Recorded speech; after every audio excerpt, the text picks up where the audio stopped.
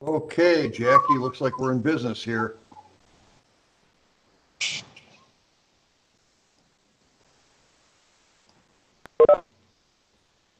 Yes, we are. Sorry, I had to get myself off mute. I was afraid I was muted. no, it was me. Good to see everybody. Yeah, I can- Hey Jackie, just a heads up, this is Nolan. Um, I just started the recording and the live streaming. Um, so whenever you're ready to get started, I can go ahead with the slides. I need to quickly get my agenda on the board here so that I've got something to work off of.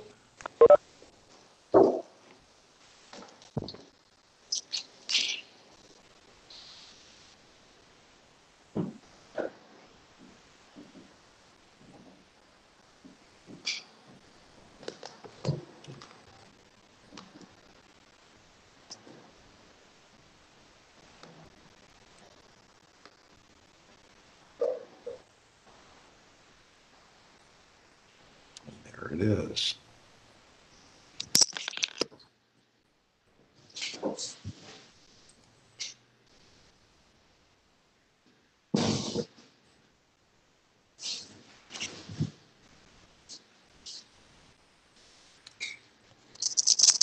Okay.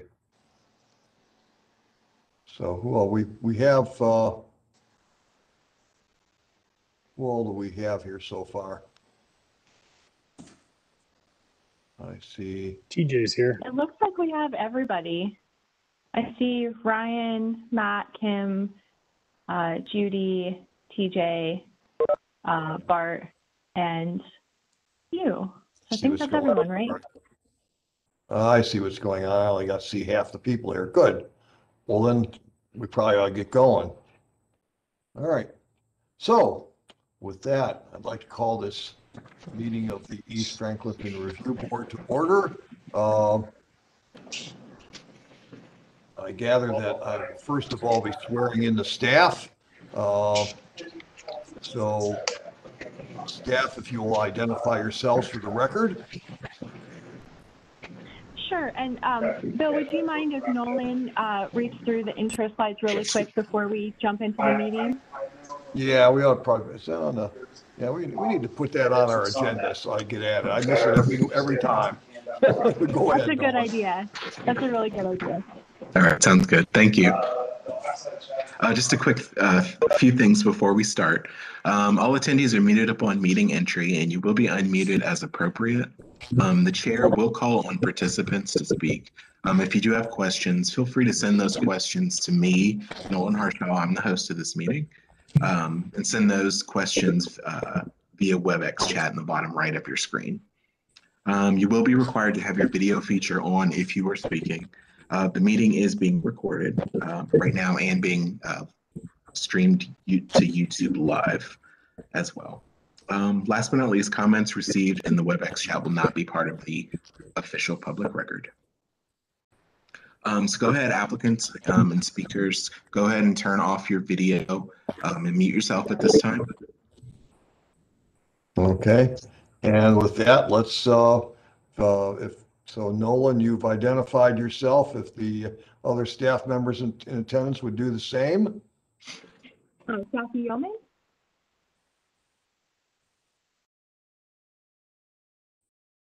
Are there any other staff members in attendance other than Jackie and, and Nolan? It's just the two of us today. Okay, uh, so, uh, do you swear or affirm that, uh, that any testimony you're about to give is true and accurate to the best of your knowledge and belief? Yes. Yeah. Nolan? I won't be speaking, but yes as well. Okay, good enough.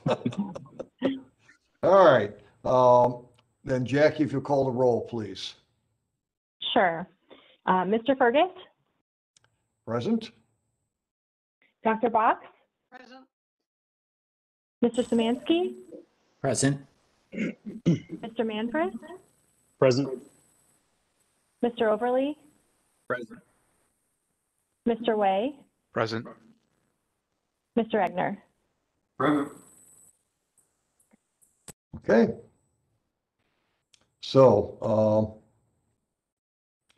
This is a, an announcement from the chair, uh, say public forum, persons wishing to address the board on matters not on the posted agenda are invited to do so. Board is not able to undertake extended discussion or act on non-agenda items.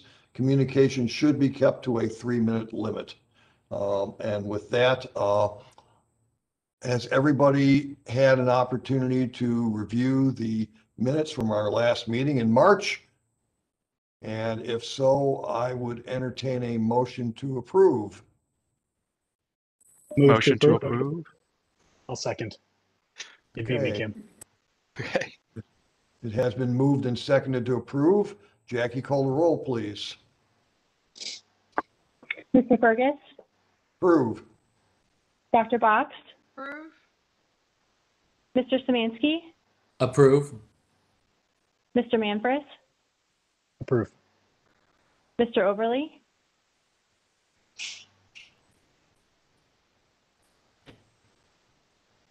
Mr. Overly, Approve. Mr. Way, Approve. Mr. Egner. Approve. Okay, moving on. Uh, old business, we have one item. and This is application EF twenty-one zero three zero zero one.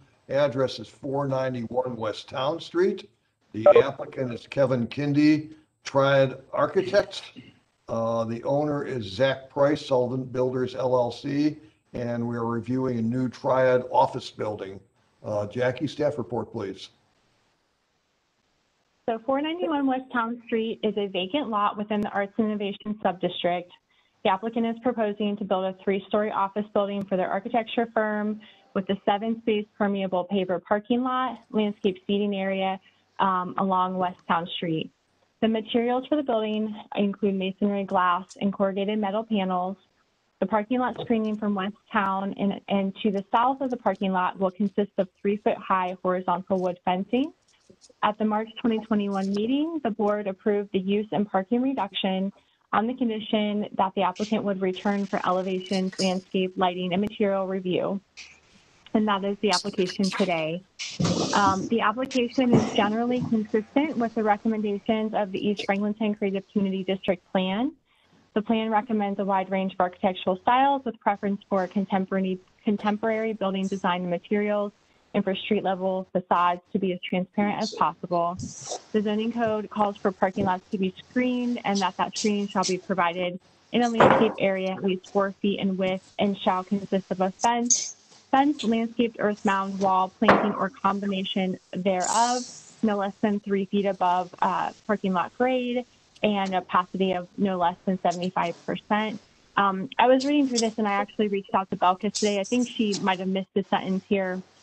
Um, so this screening is being provided on two sides of the parking lot, um, but is not being provided on um, the side near the alley, um, so the east side, and um, but staff is still recommending approval. Okay, any questions for staff?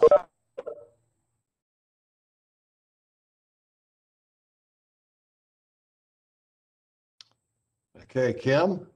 Uh, Jackie, I just want to confirm that what the regulations say is that the screening is a minimum of three feet. Is that correct? That's correct. Yes. Right.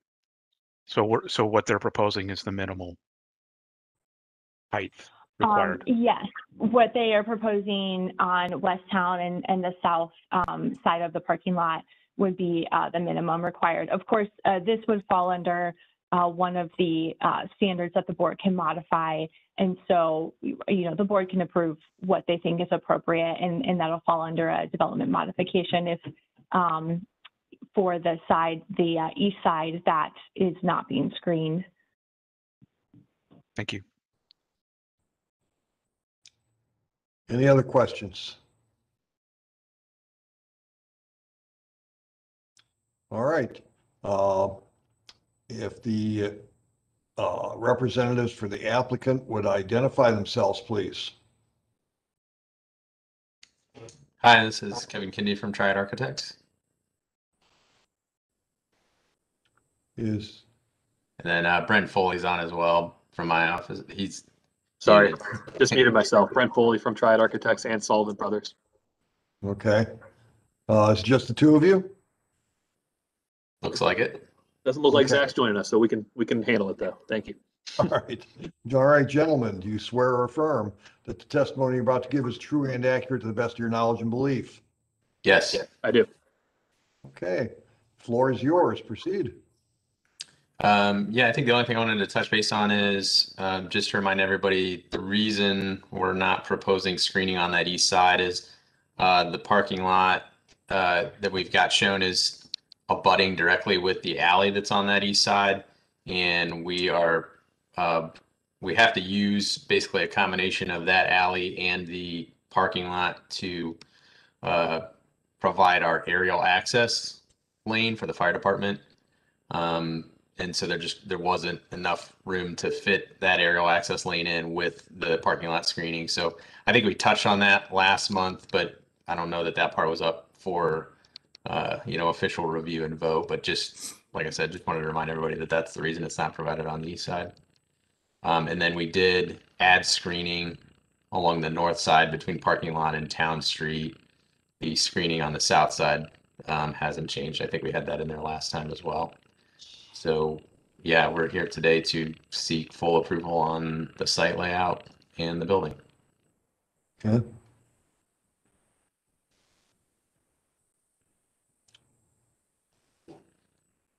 Anything else? I don't think so. We're happy to answer any questions. All right. Does the, uh, we have any questions for the applicant?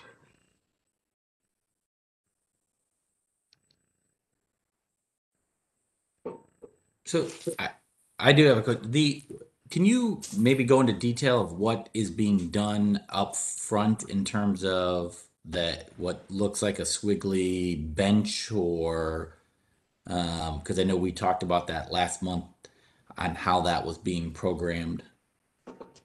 Yeah, so um, what we're currently showing is the two trees, uh, two of the, the two of the, sorry, those trees are part of our tree replacement for trees that uh, had to be removed from the site to make way for the building um, and due to just trees that we had to eliminate due to age and condition.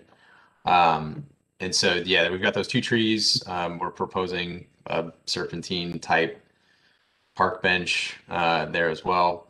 And then the coded note 17 that's to the south of that, that's our uh, wood fence screen uh, between the parking lot and, and the right of way. And you can kind of tell from the elevations, I think, or the 3D views, that's proposed to be like a horizontal wood member fence, uh, similar to other newer developments in the Franklinton area. For instance, um, the patio area at uh, Land Grant has a similar style wood fence. So it seemed like that was kind of the precedent for that type of screening um, that's used elsewhere on newer developments. And, and Jackie, I, I bring this up, maybe you, you could comment on this. I, I, I know from personal experience, been slapped on the wrist many times by the city for putting permanent structures into the right of way. And I don't know how this bench fits in there. I, I, I like the design, but I, I could see if that doesn't get approved on how that area Yeah, gets. That's a really good question, and, and the applicant could probably speak to whether they've um, had conversations with the Department of Public Service yet, but anything within the right-of-way would require um, a permit uh, that would go through the right-of-way um, division um, with the Department of Public Service. So regardless of board approval, that's not a guaranteed approval if it's in the right-of-way. It's got to go through a separate um, approval process. So I don't know if they've started that yet or not. We've had uh, our preliminary site compliance meeting with the various departments, uh, with traffic on there as well. And I, because I, and I don't know if they handle, uh, it seems like they're the first people that handle a little bit of right of way information. So they've seen this plan and maybe they, they haven't commented on that, but maybe they didn't understand what that bench was or just didn't notice it. Um, so I think that's cer- some, certainly something we can review with them further and We'll, we'll Yeah. make sure I, Yeah, I've been through that process as well. When we did our Yankee Trader development, we had to put the, the dumpsters in the right, the dumpster enclosure in the right of way. Uh, and we actually helped Mikey's Late Night Slice with their, um, patio, um, on Fourth Street as well. Uh, but we would, would intend to make sure we do that process, but we have not yet. And I, I guess my question is, if for some reason that doesn't get approved, it kind of changes m- my, my view of what the screening and you know, you remove that, then it, then the design changes immensely. So I don't know how we handle that, Jackie. Well, Uh, I would yeah, I think, think it would. go ahead, Jackie. I I think it would just be as simple as if they, if they had to, there's a couple ways the, the board could handle it. I mean, if the board felt comfortable with staff reviewing and approving a modification, it could be approved. You could, you could work that into the motion, but um, otherwise, the standard process would be that they would likely get back in touch with Belkis and say, hey, we had to make a design change, and then they just have to come back before the board to get that Okay. review, that aspect reviewed. Yeah. Okay. And that's what I was gonna say, uh, Jackie, as well, that we would be happy to come back if we have to modify this to have the board review it, if that's what they want. Okay, so I suppose the, the sole question here on that issue then is whether it's going to be staff approved or, or board approved. Assuming, assuming they have a problem. Kim? So this may be some, a somewhat related question. Um, So in terms of the, the paving that's out and that's on your property versus the existing sidewalk, I'm, because of the limit of work, I'm trying, getting confused about where one stops and the other. Are you planning on replacing the entire sidewalk in addition with the paving on your property? Or is it going to be, the sidewalk will stay and you'll have a separate kind of paved area that you're responsible for? uh, what we're currently showing is the sidewalk would stay in portions. I mean, you can see we've had to, we have to replace some of it just due to underground utilities routing to the site. Um, but otherwise we would keep it. Yeah, I, I find that, I mean, that's going to look really awkward to have different pours and seems to me that you, you'd want to have one nice new completed paved area that's all in unison, Thing this is supposed to be a, a plaza amenity. And if you're chopping up the existing sidewalk and replacing part of it but not the other, I think it's going to look very strange. So I don't know if there's anything we can do to ensure that it's all done as one, one project. So Kim, I think you're talking, you're talking about those, the area between the two patches, the area to the, uh, east of the one patch, and then the, the little section on the west there, right? Well, you've got, you've got the, the, obviously you're doing, uh, the, the underground utilities, and so you're having to paste, replace that section of sidewalk, but then you've got existing sidewalk on each side, and then you go further, there's another replacement, so it's, it's gonna look very patchworky, and I, I just think, I, I don't, I don't think it would be too difficult for us to accomplish that. I mean, we're doing so much as, we're doing so much concrete there already. Um, I would imagine they may tear up some of those patches and we end up, may end up doing it anyway. Uh, so we'd be happy to, to, to do that, Kim, if that, if that makes sense. Uh, I just we think- have to make sure we, um, do it in the correct way where there is the, uh, the, um, curb cut for, uh, ADA access there. Yeah, yeah, yeah. I, I just like you, it- it'd be great if you could work that out with the city, because it would make, I, I think you would want that as, at your front door to have it kind of all nicely done as opposed to, you know, done piecemeal. Kim, I'm with you. I'm looking at the Google Maps right now, and the the, the city came through and put uh, ADA ramps on all of the corners there. So the corner has been done, but the rest of the sidewalk is not up to up to date. Um, and I think you're I think you're going to have a really hard time with making that look one look good, but two be uh, compliant and user friendly if you're just if you're just trying to cut and patch. I agree with you, Kim. And, and to the earlier point, we'll have to make sure all of that is coordinated with the right of way permits. And if it changes Right. at all, we'll come back. Yep. And, and Brent, do you, do you have a cut sheet for that bench, or is it's, or am I missing something? I didn't see that in the package. Evan, have we selected a product for that yet? No, we haven't. So I assume that we're not approving the bench. That would either be staff approval or it would have to come back to us. I don't know. We'd, we'd of course, uh, prefer staff approval on something like that if you had the direction of, of type. I mean, we would, we would intend to do something contemporary to match the building. Uh, we just haven't gotten there yet. And it is wood, right? Um, is it? It's a Uh, wood the bench. fence, the fence is wood. The, no, I don't think the bench would be wood. It would, I, I mean, like Brent said, we haven't gotten that far yet, but the Yeah. pictures we've been kind of looking at for references have not been wood, I don't think. It'd been metal, is that right, Kevin? I'd say either metal or concrete. So like a painted Yeah. metal or concrete was kind of what we were thinking, Kim. Uh, again, y- uh, y- it could be anything, right? It could be wood, it Yeah. could be concrete. it could- So we just need, we need to know what it's going to be. I think it's part of the materials, right? So, um, and, and the reason I, I bring that up is because you've got the wood fence. And so I, I was thinking, well, is that, is there a link? Are you going to do this? You know, I think Landscape Forms has these really nice curved wood, uh, wood benches and uh, it could be something like that, but you're saying, no, it's not wood. So that's fine. Um, I, you know, we had this long discussion about that screen fence at the last meeting and you know i was advocating for something that really um you know enclosed this kind of plaza area um i don't think the three foot fence screens anything. Uh if you're a five to six foot person you're looking right over it you're seeing everything in the parking lot. I don't think it does anything for you. Um i think that fence needs to be you know at, at, at twice the height at least or around twice the height.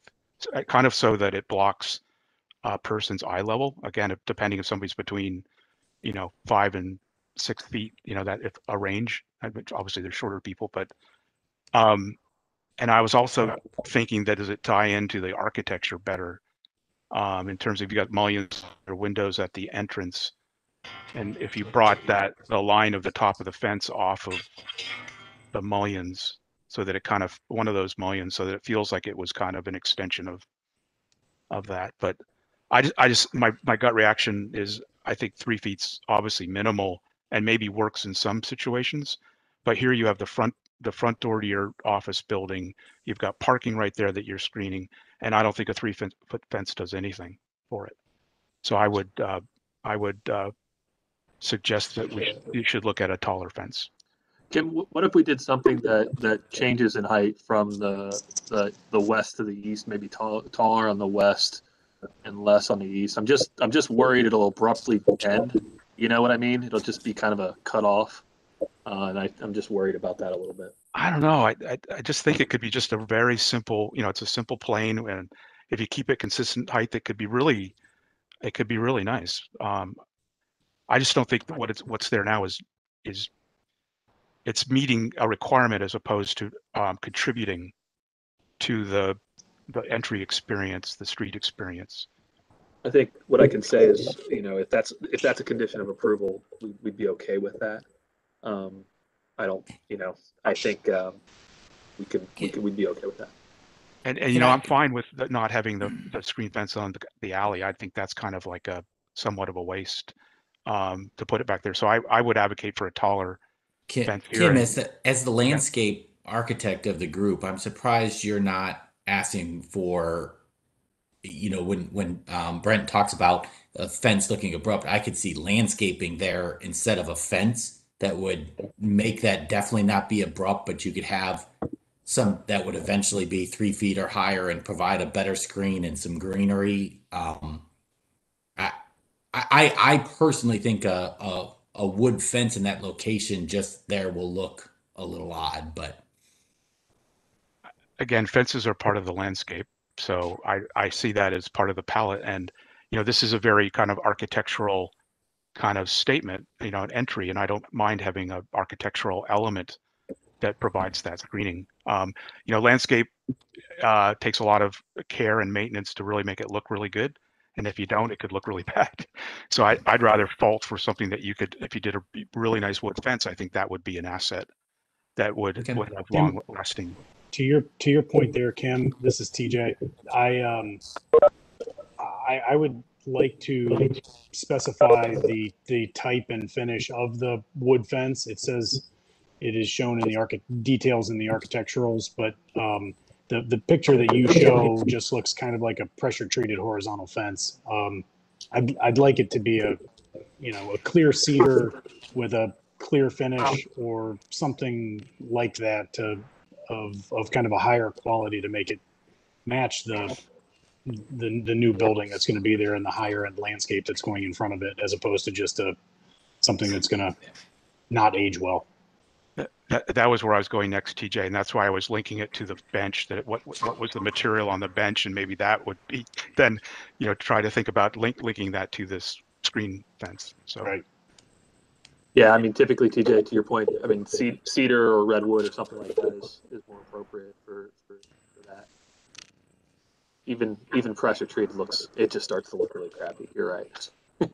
And we It don't want starts- to at our It front door. starts out looking kind of crappy and only goes, gets worse from there. Yeah. And then as you replace parts and pieces, you have, you have different colors, etc. cetera. That looks really weird.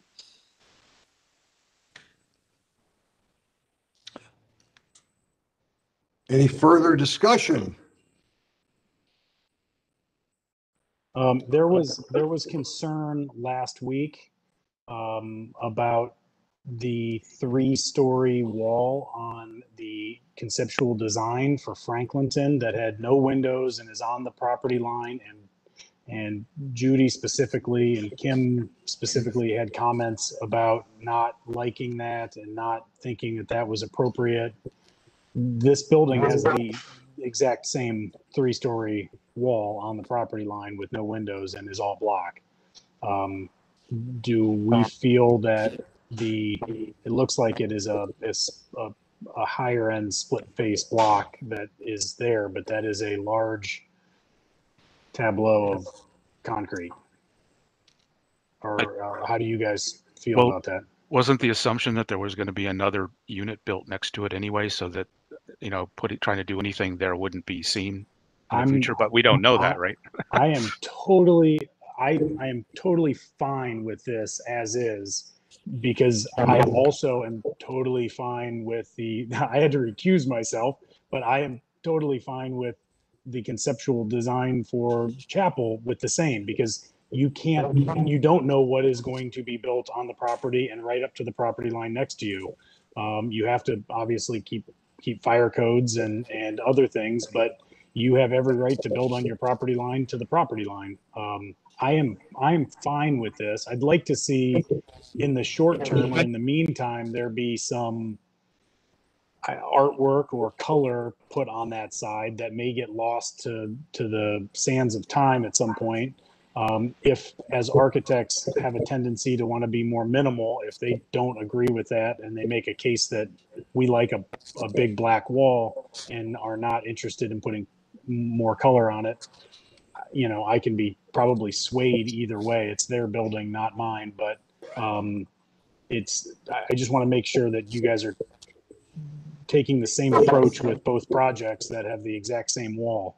Um, and so I, I just wanted to raise the point. I'm, I personally am fine with this wall and I'm fine with it being on the property line and not having no windows and being, um, the, the higher end block on the, on the face. So, um, but just wanted to, wanted to bring that up.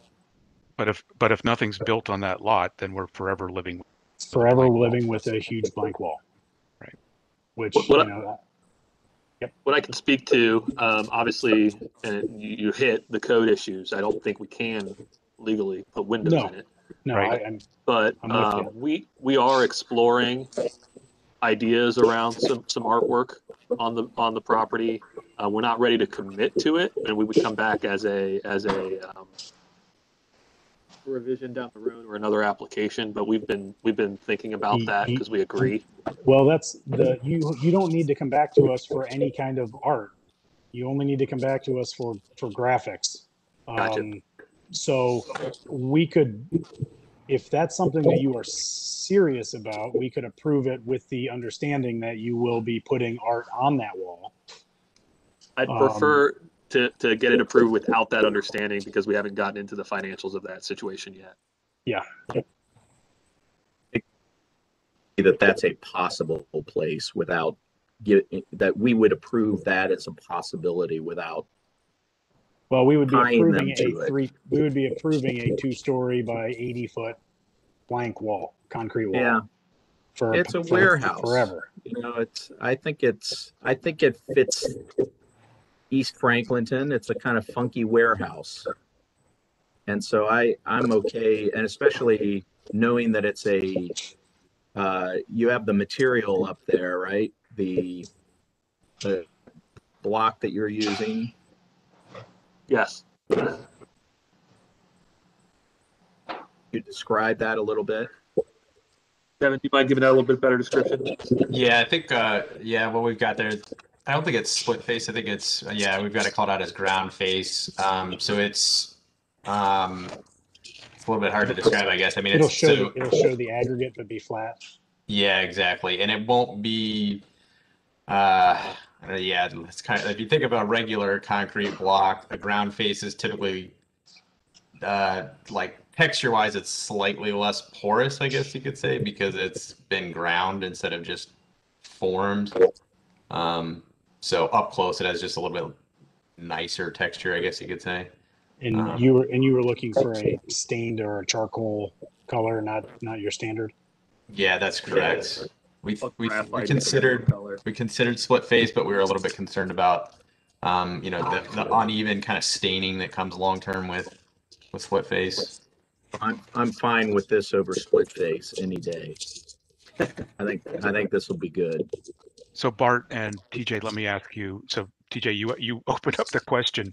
So, so that's a, a very flat facade. Would any kind of like relief in the, in the masonry material, you know, kind of coming out and creating some kind of a, would that help it?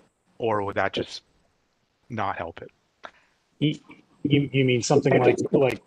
Like soldier pilaster, like- or pilasters or Pi- something to break up that mass. Right, y- right. Just so there's some shadow lines and stuff on it. Um, I vote no. I think it's We're a, not it's a voting yet. warehouse. It's a Bart, where- box and it's Bart- got this, Where were you last week on the, uh, on the, on the property that was supposed to be a warehouse fifty yards from that? sorry. one, one case at a time, TJ. I, I know. I had to bite my tongue and recuse myself last week.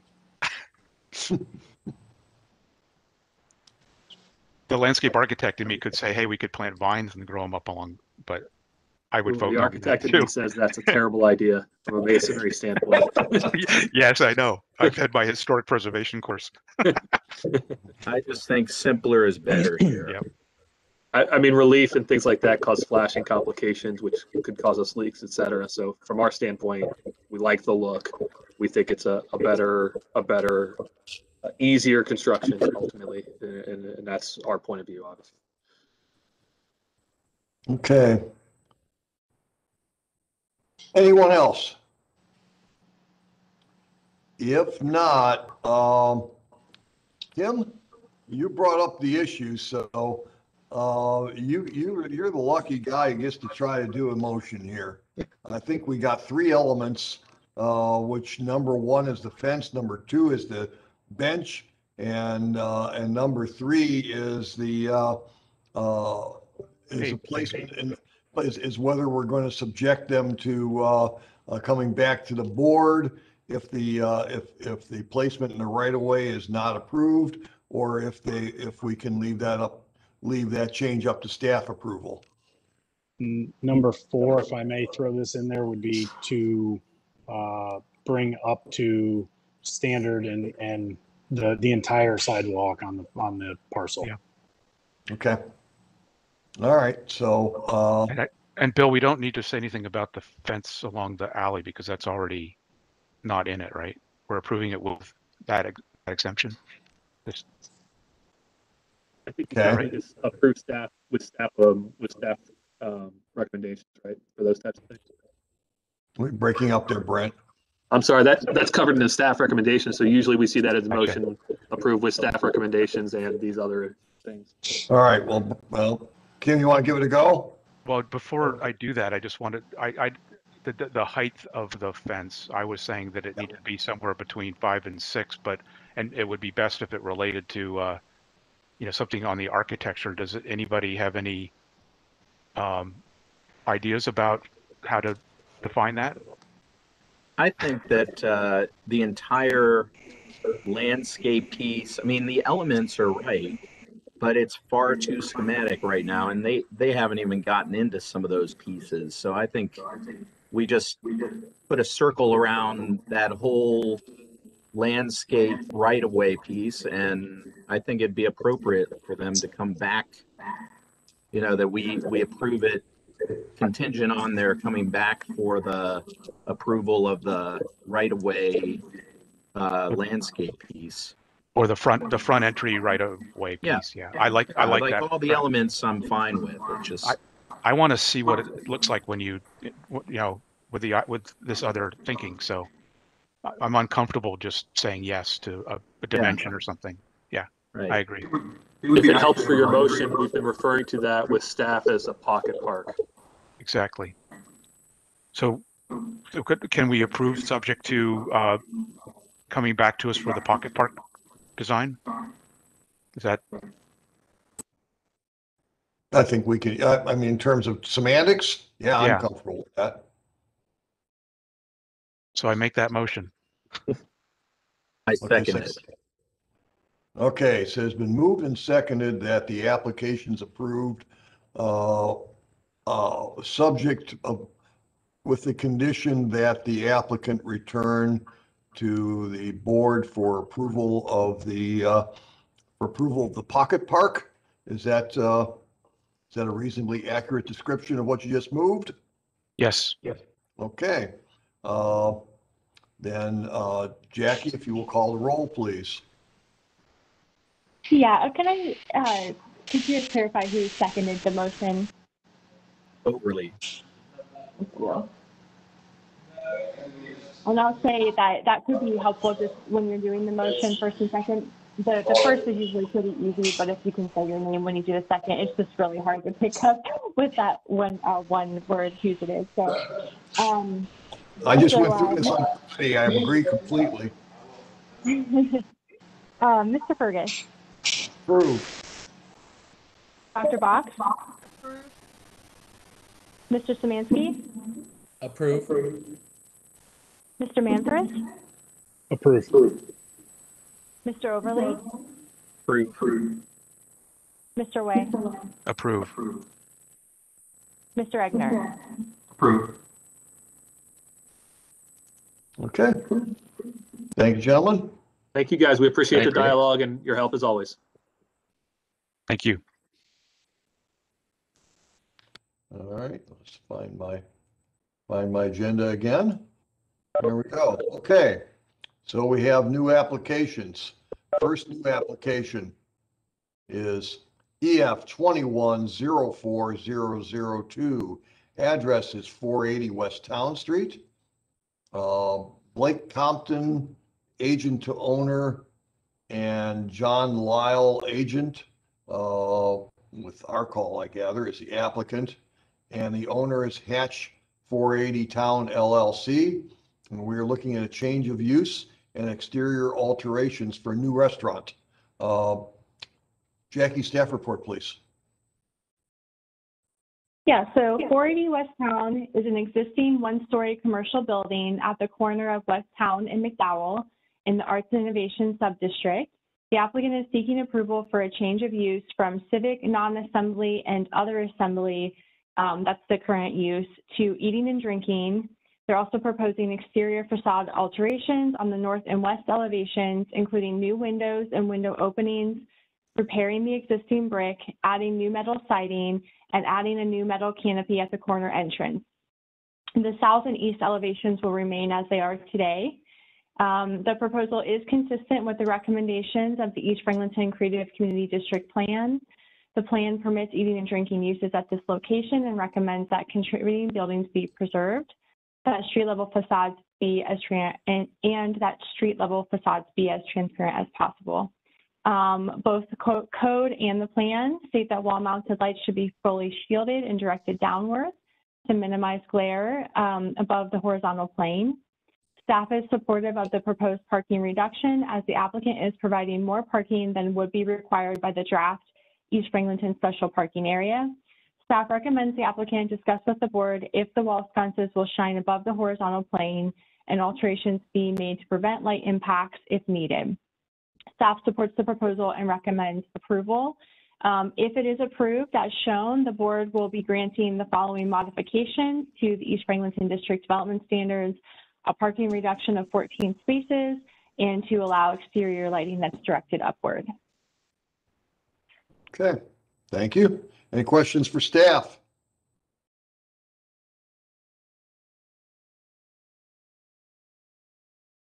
If not, uh, will the representatives for the applicant identify themselves, please? You are muted. John Lytle, Archall. Hi, Blake Compton. Okay, gentlemen, you, are you, you the only two? Yes. Okay, uh, and do you swear or affirm that the statements you're about, the testimony you're about to give is true and accurate to the best of your knowledge and belief? I do. I do. Floor is yours. Awesome. Yeah. So uh, just a little context. Uh, uh, the owner of this building wants to get it uh, more um, attractive to a restaurant user, um, hoping for a you know a lunch type of place or a breakfast lunch type of place, and uh, in uh, active conversations with some locals in the neighborhood um, that have some shops and food trucks, some pop up stuff. Um, and uh, getting over this hurdle of the uh, the parking variance and the use, uh, while also getting a new roof on and doing some exterior upgrades will help it make it more attractive to uh, a potential tenant. And we fully expect that the potential tenant may come to the table with um, some additional uh, upgrades in the future, and we'll have a separate application at that time. Okay.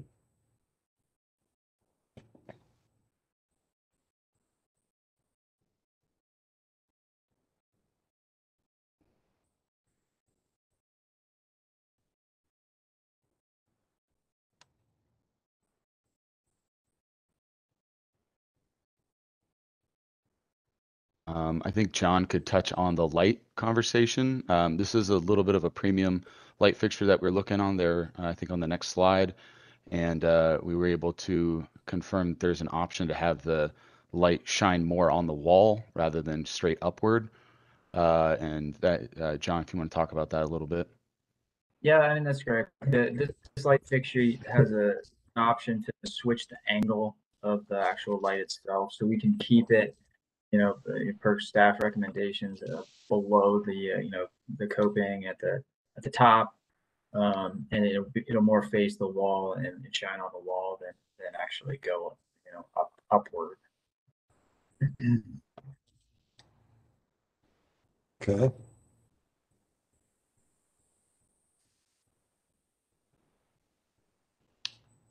All right, any questions for the applicant? Cam?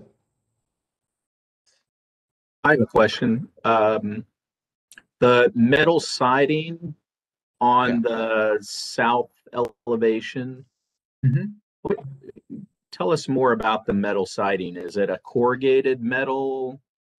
It- Does, is it a, like a color finish? Yes, so you can actually, we have the submittal in the, it's in uh one of the, I think the last pages of the um, the presentation, but it's a DMI, it's actually a roofing panel um, that we've looked into using it um, on other projects.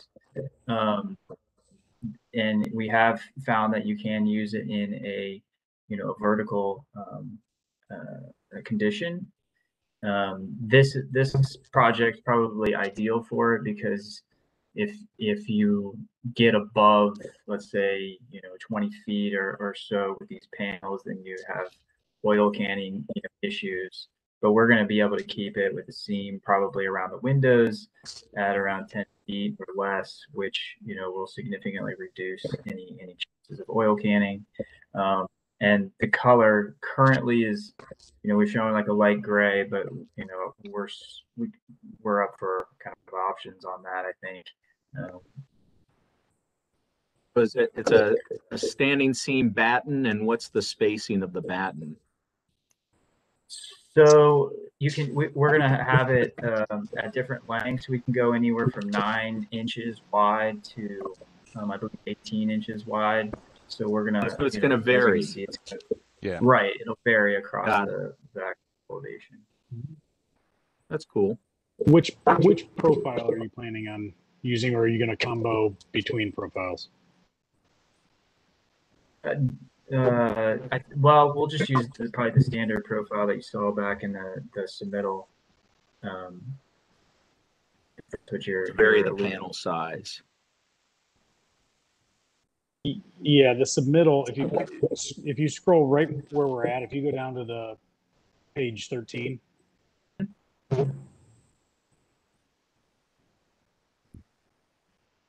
There's four profiles on the panels. Oh, right. Oh, so what we'll be using the smooth. So it'll be the smooth in between. And then the panel widths are in 12 and 16.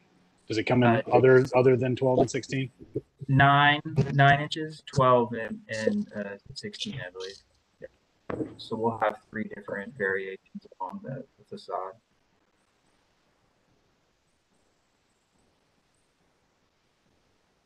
We thought it was a good, I mean, you know, a lot of, there's a lot of corrugated going up around the city, and we thought this, this would be a good alternative to, you know, keep with the metal paneling, but have something a little different.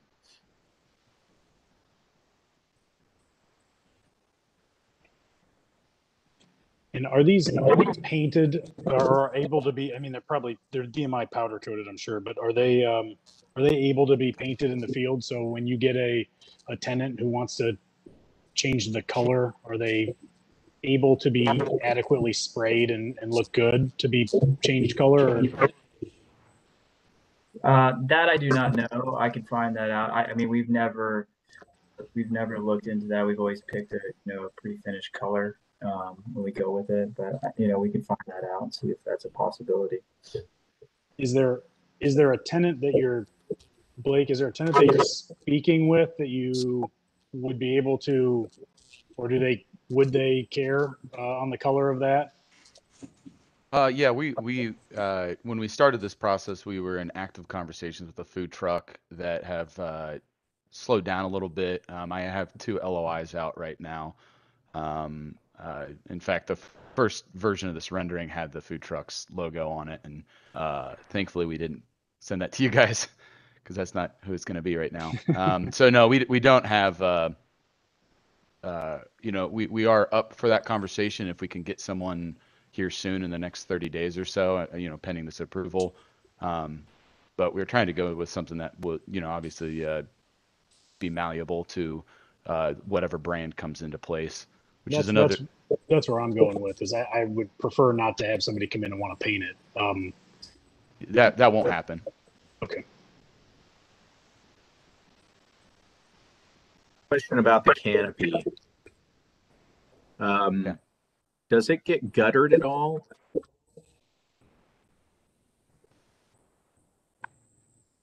Good question, Bart. Um, Yeah. you know, we haven't. Go ahead, John.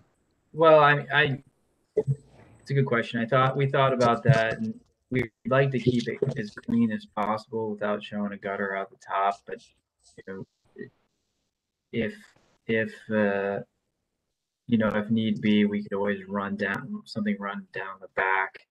Um, but we like to keep it clear if possible.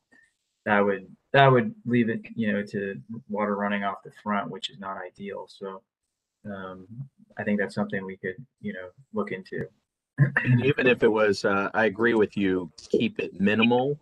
And maybe it doesn't even need to do that but you could do some kind of a, like a stop gutter detail along the, the front faces of it so that you could then channel the water to the, the two sides. I, I just think, you know, to have all that water sheeting off at the front entrance. So it becomes sort of a water feature with, uh, two spigots Well- coming out on when it's raining. Well, yeah, I mean, maybe you control it so you do get a water feature out of it, but I, I just think just from an operational standpoint, you don't want it sheeting off right on the front entrance. Yeah, and it, and it it is partially in the public right of way, so we'll have to go through the right of way permit process, and Right. um, we still have some engineering to do on it. I think we're here for conceptual review on on that from from that standpoint. Okay. Well, that said, I think it looks pretty good. Okay, Do you have, Anyone s- else? do you have space on McDowell or on town to have a, you know, planter boxes or something where those could, where that, those downs could then turn into a, Mm. to a box of some sort, so you don't have to f- just flush it out to this.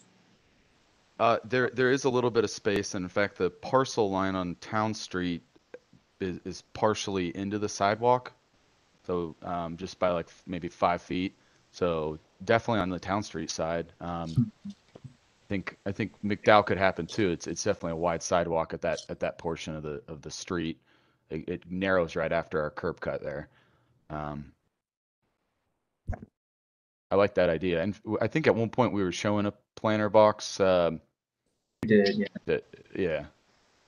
It, it was, it was more, uh, the prior tenant's request to hide the gas meter, which I don't even think we can do anyway, so. So, so I have the same line of questioning. TJ likes to play landscape architect, so I'll, I wanted him to do that. Makes- I've Um, learned. you know, that, that whole, the whole condition around the building is, is, is not, um, is not typical in that area. If you look to the, um, east and the west, it's more of your traditional sidewalk with a, um, planting strip and then a green setback up against the, uh, the building. Um, I, there's no landscape here proposed at all, and that's an incredibly wide sidewalk. Um, and right now it's very unkept. I, I, I have multiple questions. Kind of building on what TJ said, could you actually build in a, a planter along the um, Town Street edge? Actually, both edges maybe, um, like what you would see in a it going down the street, right? And and there's no street trees here e- either, so it's it's a double whammy. So I personally would like to see some kind of um, a plan for landscape. Um, it's got a soft. This is a very harsh corner, um, and it, it really needs to be softened in some way. And I know Yeah, that you're and- not and I- I- responsible for street trees, right? But it seems like it should have street trees here. Yeah, and we do have, uh, on the McDowell Street side, we have a very old tree in, in our lawn there. I don't know if it's, uh, Yeah, it's actually can see that. notated, but you can see it on the, on, on Google View. Um, you know, I, I, I think one of the things that we, with, with, with respect to where this application is, is, uh, we, it very, very likely could have a patio experience there on Town Street, um, at some point, uh, with the tenant. Um, you know, right before COVID, uh, last year, we were talking to a tenant that had a really great idea. Um, and it just, you know, it, it just di- died on the spot when COVID hit. Yeah. Um, so I, I, I would hope that, um, you know, I, I take your feedback and apply it to this tenant, this new tenant, this pr- prospect tenant's, you know, plan if they ever come back with a patio plan. Um, Bl- yeah, Blake, that was that was my next line of uh, inquiry because I, I wanted to start with the landscape piece, but you know it's crying out to have a patio all along that edge and be more permeable and have people and activity. And right now it's all focused on the one corner. Yeah. And it's it's it's a very important corner, right, in in East Franklinton that needs a lot of love and attention. And I don't see it in this yet. And I'd really like to see that whole street environment, street edge animated, um, you know, differently than it is now. agreed. So, uh, and one other question I had for you about parking. Um, that parking, the existing parking lot is like 53 feet wide. You could almost put another row of parking, especially if you put it, if you made it diagonal or something. Yeah. Um, and get more parking on the site. It seems like we're approving, uh, what, nine parking spaces? Um, it seems like, and and giving you a, a, a variance for the rest. So, seems to me that that you could accommodate more parking than you are. That you're just giving up a lot of asphalt to circulation. And and then the question is, um, can you- can you get alley access and use the alley as a, another way to kind of flow through the site? And right now you have a fence there, right? Yeah, existing fence. Yeah, But you could actually access the alley. absolutely. Yeah. I, I, I think that in the future, when we have a tenant locked in place with, with some kind of uh, long-term lease, uh, that will be uh, a, a part of the plan. Uh, like you said, there's more room for parking, angled parking. If we could uh, relocate the curb cut, if we could open up the access to the back alley and have some kind of through traffic to the alley. Um, I think all of those things right now are going to add a lot of expense and, and process that um, would complicate uh, what we're trying to do. And so we're just proposing the existing conditions um, be acceptable. Right. Um, okay, and one other just clarification on page six. I mean, you show the existing fence to remain. I was just clarifying that that's the fence that's on the alley. It looks like it's right up on um, McDowell Street, but it's actually the all the way in the back, right? Uh, yeah, uh, no, Uh, yeah, That's the alley fence, even though you've got it on an elevation of McDowell. yeah, you're just seeing it in- all the way in the back. Right. Yeah. Yeah, Okay. yeah. I, I just just clarifying that. Yeah, yeah.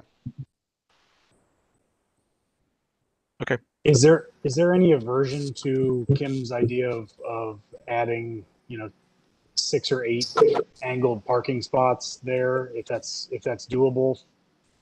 Um, Uh, I- Is there, is there a plan for there to be an expansion of seating out there at some point to take advantage of some of that extra space or, Yes.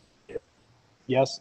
I, I I've seen that in one of the one of the potential tenants renderings was was a direction that way, having a, a new entrance to the building, having something back there, using some of that space um, for patio experience, which as a as a resident and former user of the building, I, I know it would be a quiet uh, portion that would be really nice for for people to enjoy a, you know food and a drink. Um, again, I think it's just we don't want to go through site compliance twice or needlessly, and we're trying to to improve the building in a way that makes it serious for tenants to consider it um, without over improving it uh, uh, on, on a speculative manner. Kim, devil's advocate uh, to your parking condition is that, um, you know, the, on the, the East Franklinton special parking area update that we got basically talks about any restaurant that's less than fifteen hundred square foot is, would be required zero parking. Now granted, this is more than that, but Yes. um, it gives you an idea of if we're gonna require zero parking for a restaurant without a pickup window, that's fifteen hundred square foot. Um, this, this one is essentially a thousand, less than eight hundred square feet more, uh, that has nine spots with a, with a handicap. Um, just playing devil's advocate. And I'm just saying that it's, I, I was just making the point, TJ, that it's, there's a lot of space there dedicated to nine spaces that you, you don't need all of it. And if, Blake, if you, you said, well, we're going to expand the, the building to the north and that we need that space for that in the future, well, that would be one thing to have a conversation about. Yeah. Um, but, Yeah, or just- reorient the building, you know, make it into a patio, I- you know, but you're not doing that. So it's hard to have that conversation. But Kim, I would, I, with you, I would, I would much prefer to have a, a patio take up some of that sixteen foot curb space, uh, to the south than into the parking lot to the, to the north. Um, just from a, a, a street view and, and a interaction, of a pedestrian interaction standpoint. One, you'd have to move, again, you'd have to move the curb cut to do either of those things. So maybe the, removing the curb cut is something that you should have a conversation with the city about, so that it gives you that flexibility in the future. Um, Push that curb cut north. yeah, I have a question for Jackie. If this is approved, um, and then we've approved the change of use here, and it does come in, they don't really need to come back unless there's more exterior alteration. right? Right. Sorry, you're breaking up for me a little bit, Matt. Um, you were saying if it's approved today, they won't need to come back for patio or anything else unless they're making changes. Is that what you're asking? Yeah, that's my question. Right, that's correct. So, if- so if the board approved it as submitted, um, the applicant would only need to return if they decided to make a change to, um, the site from what they're showing today. So that being said, my, I would have some concerns about the landscaping or lack of it on, especially the south side there. And if this is our chance to take a whack at it, then I think we should do that. Yeah, that would be, uh, I'm still, I- you know, I can understand the other things are, you know, kind of in flux, but I don't, I don't want to walk away with just leaving the streetscape the way it is. I think that's a, you know, a really important part of this, and I think it should be addressed. I agree with you, but Jackie, what is, what is the, Yeah. what is our ability and our requirement if the right of way is at the side of the building to, to tell them to Yeah. improve the, the city street? Yeah, I mean, it's, do we have, a any- we don't, good point. Um, It, it's this is where it gets gray because the board can request things, you know, as a part of a, an approval. But if it's in the right of way, then technically um, that all has to be approved by um, the Department of Public Service. And um, and if they say no, then it's not going to happen, regardless of, of what the board's conditions are. So it is definitely a gray area. I mean, the board often in, you know, not just this board, but lot, all of our commissions often will comment on things in the right of way. Um, but ultimately, any approval um, lies in the hands of the Department of Public Service because they control the right of way.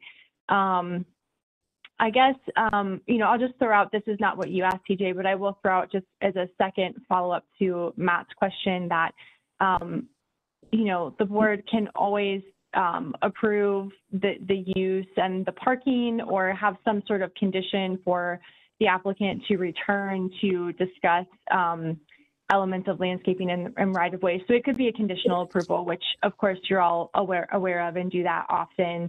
Um, but um, that could give the applicant time to maybe think about what they'd be willing to commit to and also give them time to have a conversation with the Department of Public Service to see what, you know, would even be allowed.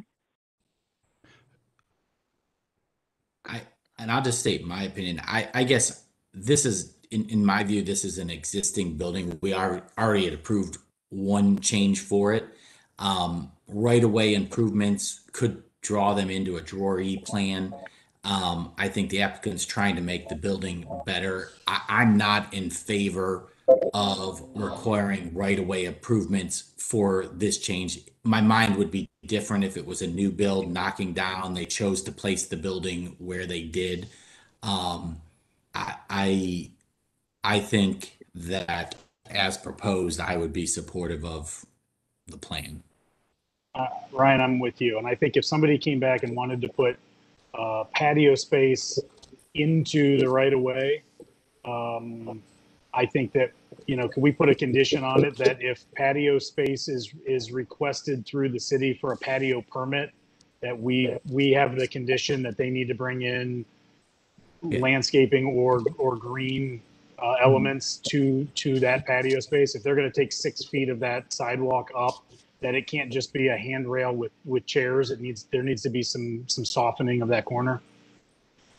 They, uh, they would have to come back to the board if they, wa- if they were requesting to put a patio in. So they'd have, they'd have to come back and then that would, could definitely be a condition that the board could set at that time. Because Ryan, I I'm, I'm, I'm with you, exactly. I, they're, they're trying to, they're trying to update the building to get a tenant in there. And I, I, I have a hard time saying that we would start requiring them to do work in the city's property to, to beautify the corner that is not theirs.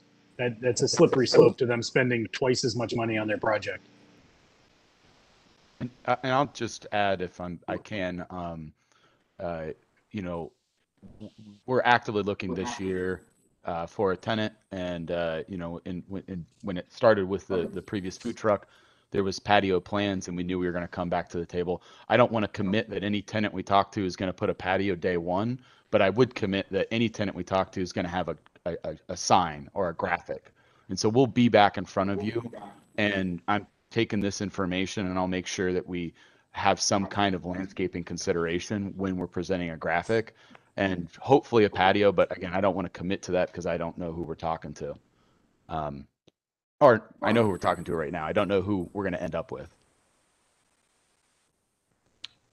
Jackie knows this is one of my pet peeves going way back to the beginning of the board that I've been advocating for a, a East Franklinton kind of streetscape plan that the city would would help implement. And there have been fits and starts to that. Um, there was some discussion about doing that with the utility improvements, but I don't believe that happened. And it's not just this project, there's other projects where there's these, just, you know, there's no attention being put to the streetscape in areas where it needs it. And I think it's a real shame when we're trying to, you know, rejuvenate East Franklinton and not having the support of the city in the public right of way to do that. In, in, in, in, um, projects like this. So I was just, I was just saying, maybe there's a discussion, maybe somebody would be interested in helping out at the city. Uh, proposed compromise, full- Go ahead, Matt.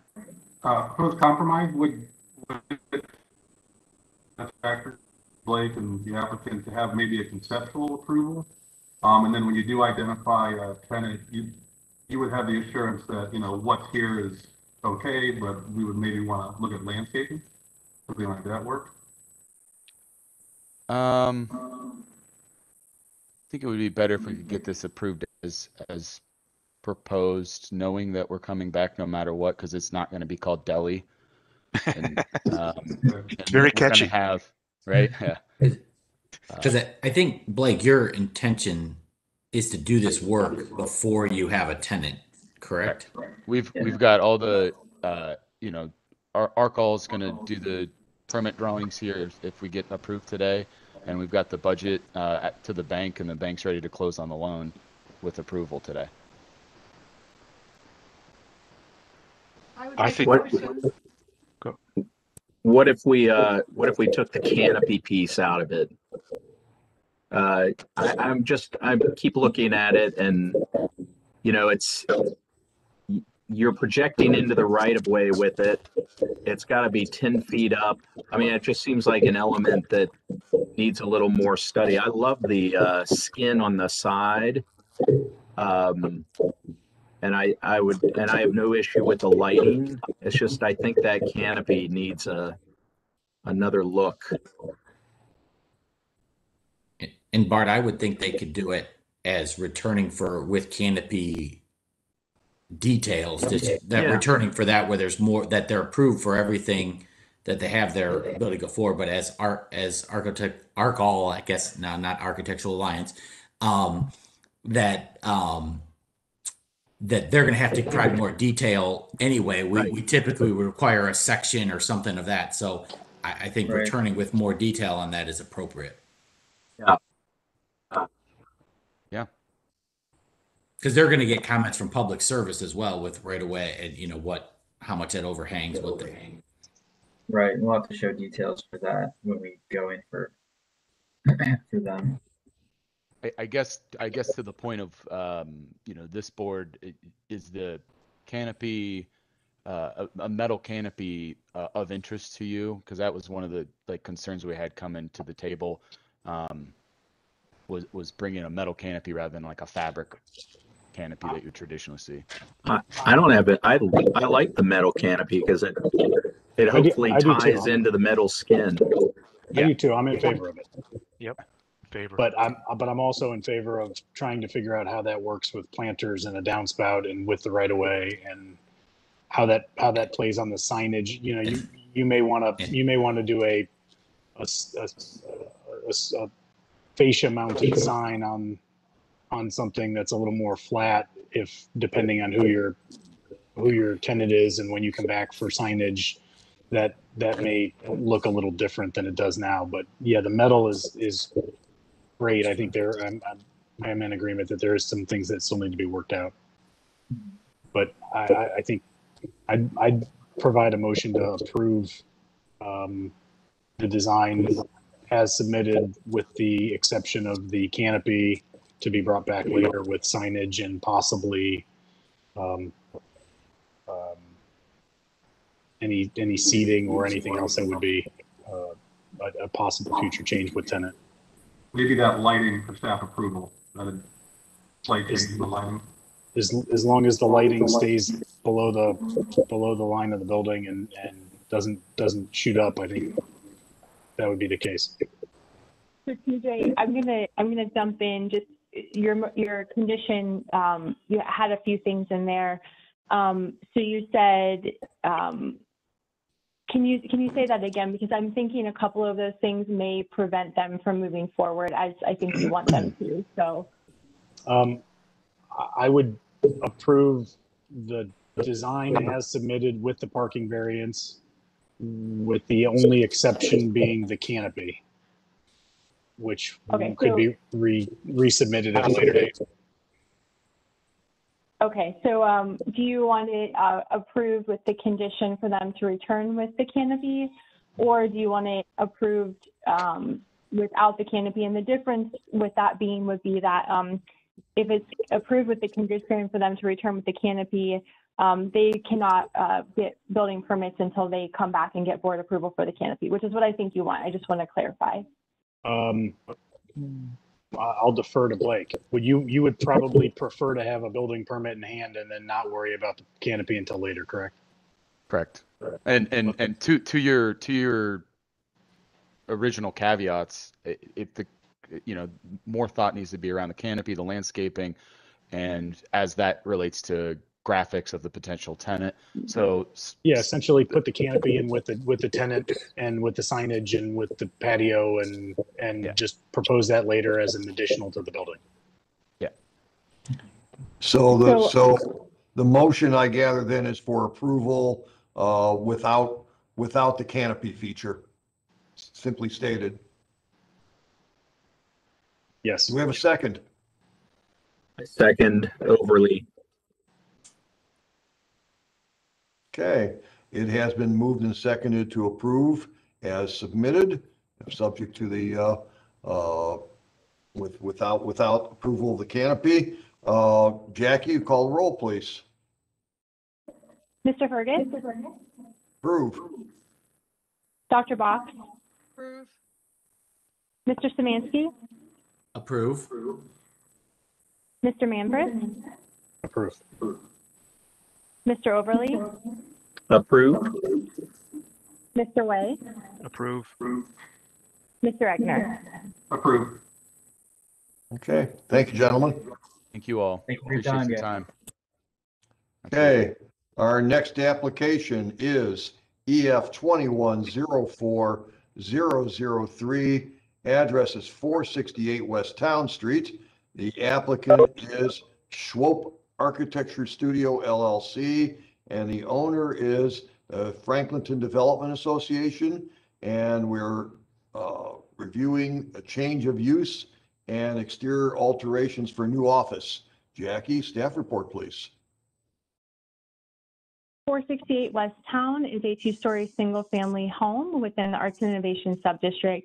The applicant is proposing to convert the home into an office with new gray fiber cement panel cladding, new windows and doors, new metal roof, porch railing, and an overhead canopy, and an, and a new ADA access lift in the rear. The existing chain link fence in the backyard will be removed and a wood fence will, will replace it, or the wood fence will be repaired. Um, the proposal is consistent with the recommendations of the East Franklinton Creative Community District Plan. The plan permits office use at this location. Um, additionally, the plan recommends contemporary materials and that contributing buildings be preserved. Staff requests that the final site plan show the repaired fence. Staff supports the parking reduction due to maneuverability and parking space size constraints. In addition, the draft East Franklinton parking area would require zero spaces, which is what the applicant is proposing. As such, staff supports the proposal and recommends approval. Okay. Thank you, Jackie. Any questions for staff?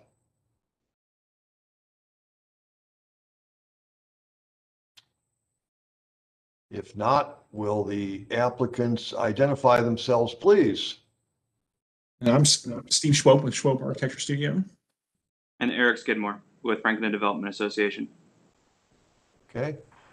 Gentlemen, do you swear or affirm that the testimony you're about to give is true and accurate to the best of your knowledge and belief? I do. Yes. Okay, the floor is yours. Thanks, Board. I appreciate you getting the name right too. That that's that doesn't happen very often on the first try. Uh, so Pure luck, don't worry about it.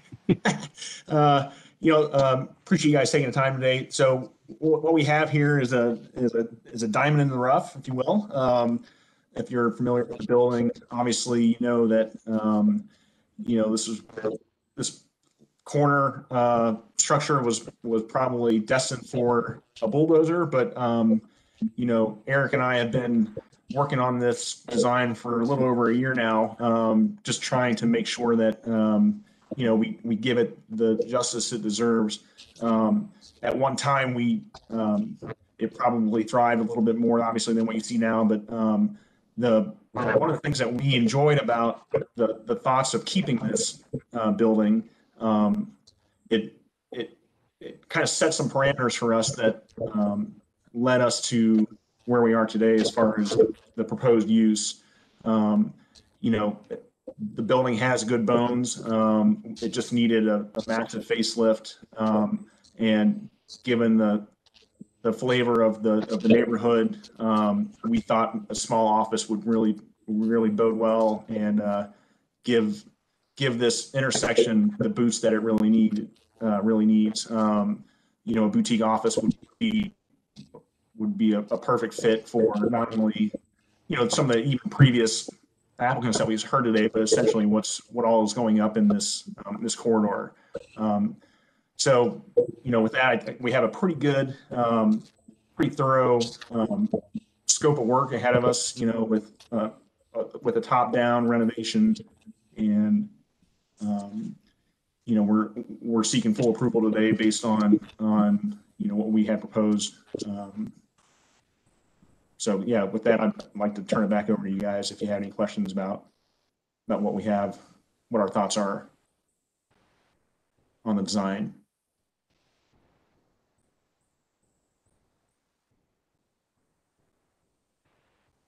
Okay, thank you. Um, any questions for the applicant? Is this, do you have an office tenant? Is this going to be uh, an architecture studio or is this uh, spec? We do not have a tenant. It's spec.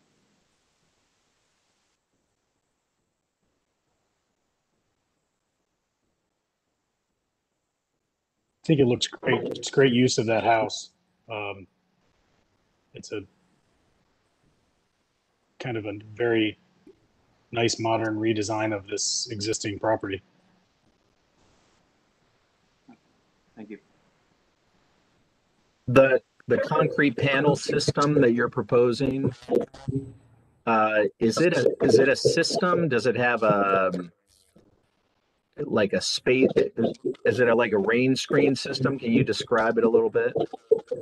Yeah, so the, the James Hardie, they have a, they kind of have a proprietary, not necessarily proprietary, but they have kind of a, a, a recommended way to, to install their system and have, and maintain the warranty on it. Um, the panel system will have a drainage, drainage, drainage plane behind it with, you know, that's set off. Um, this particular case, um, you know, we will see at the top of the elevation page, um, we were proposing originally, um, to do a batten kind of seam system because the panels only come in I think four by eight sheets. Um, it was it was critical for the design to kind of um, be uh, break up the paneling to kind of fit with the rhythm of the windows um, and both the horizontally and vertically. So you try to you can kind of shape these panels any size you'd like to as long as, as long as they're in the within the, the I guess the the max panel size. Um, the seam, the vertical seaming is just a, another fiber cement um, trim piece that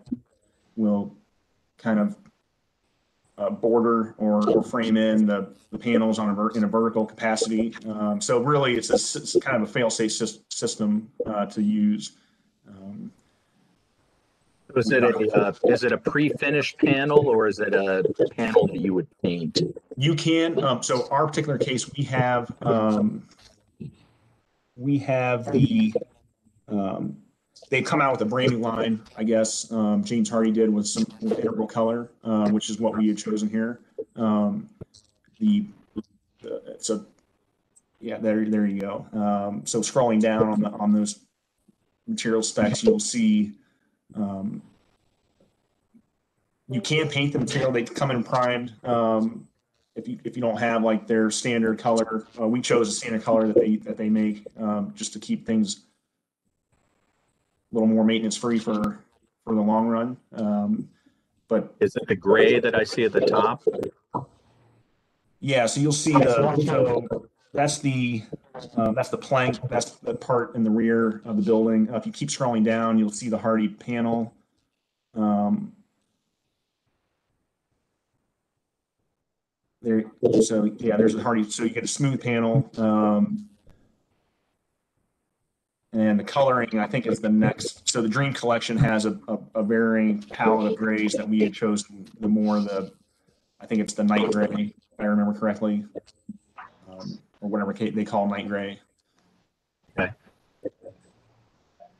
And then the accent panel, that's, Yeah, so the accent panel that you'll see kind of in line with the, the window um, spacing is more of a, uh, in this case, it'll be more horizontal plank. It has, in this case, uh, I thought maybe a wood texture would be nice to kind of bring, bring a little more um, uh, variation to the elevation design. And then, um, you know, that's going to be a, a lighter gray material that's also, also has an integral color, I believe.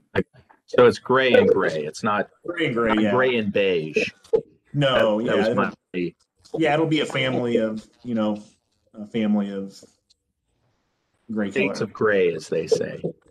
Wouldn't have it any other way as an architect, so. Okay. uh, No, I, I think it looks good.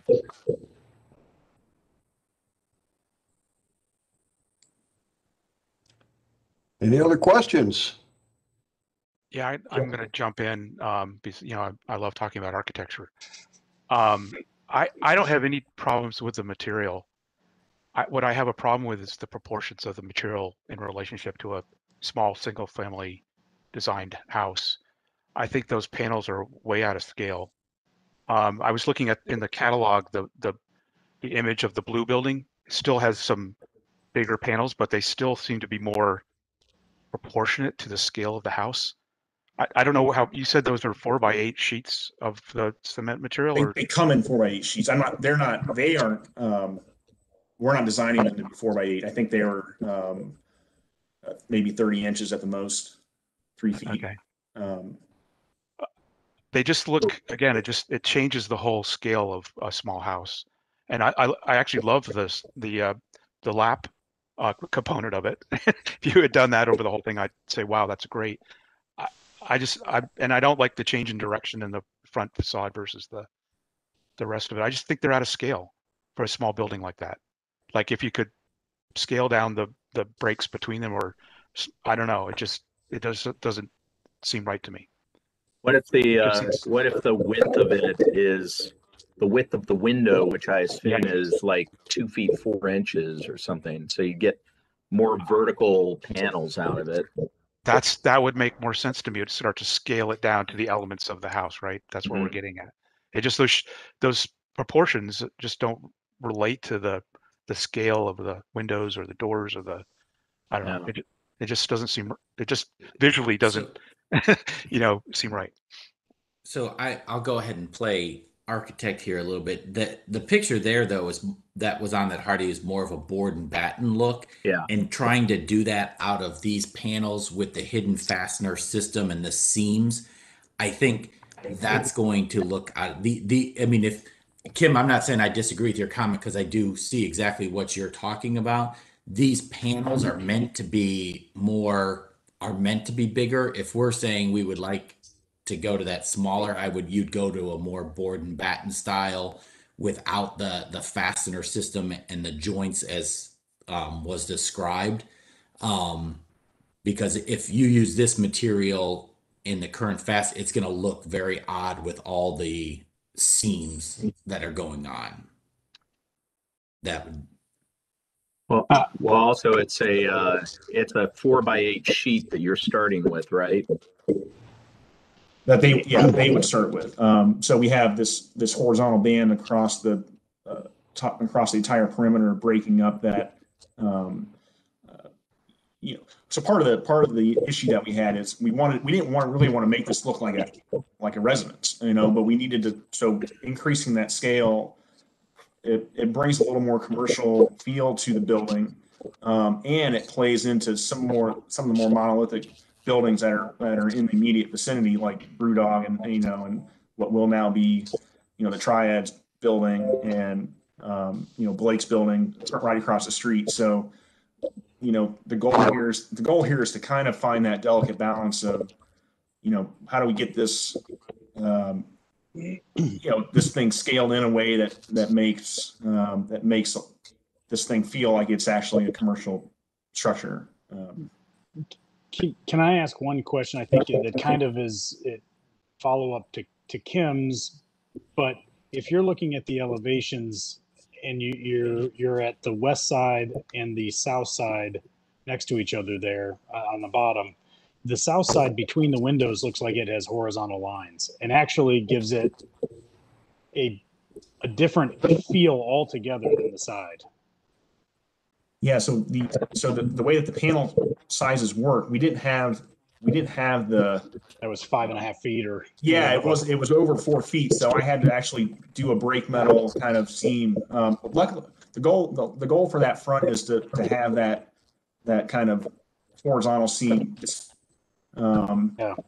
And I, less. and I, um, and I actually think to, to Kim's point, Kim, what is your thought with that, with that south front? I actually think that that south front works better to your comment than, than does the, the large side on the west. Yeah, it's, it's hard to say, TJ. I, I- just, it's the scale of those panels. I mean, I mean, no matter what you do, this is a single family East Franklinton house. And it, it, it's, it, be- and the roof being a hip roof, you know, just reinforces that. No matter what you do to it, you're not going to change it from looking like a house. And it's almost, and, and trying to not make it look like a house, make it look like an office building, uh, I don't think it's, you're achieving that. Maybe if you take the roof off and make a flat roof, it would look more like an office building, but I, I think you're trying too hard to make it not look like a house. And I think the scale of this is a building, of the windows, of the other details, it, it the siding needs to be of the same scale. And, and again, I love the the lap the lap part of it. What, And I'll throw did this you out, Kim. Did you consider just doing board and batten? Like, uh, we, we actually did a very contemporary house here in Franklinton that was board and batten and it has accents. It's basically gray on gray, but you get like pops of, uh, color and you get kind of breaks, kind of like what you're doing in terms of composition but you get a finer you get a finer tooth out of the board and batten and then when you get the the wide break where the windows are where you want the accent it, it it's a panel so it's board and batten and panel um you know it, it, the other thing i think was brought up the windows themselves that I think you could do something. It doesn't have to be double hung, but you could do. Those look like big. Are they casement windows? Uh, they're gonna, they're probably gonna be just pic- picture windows. They're not gonna, I would assume they're not operable in, the- in our Or case. non-operable.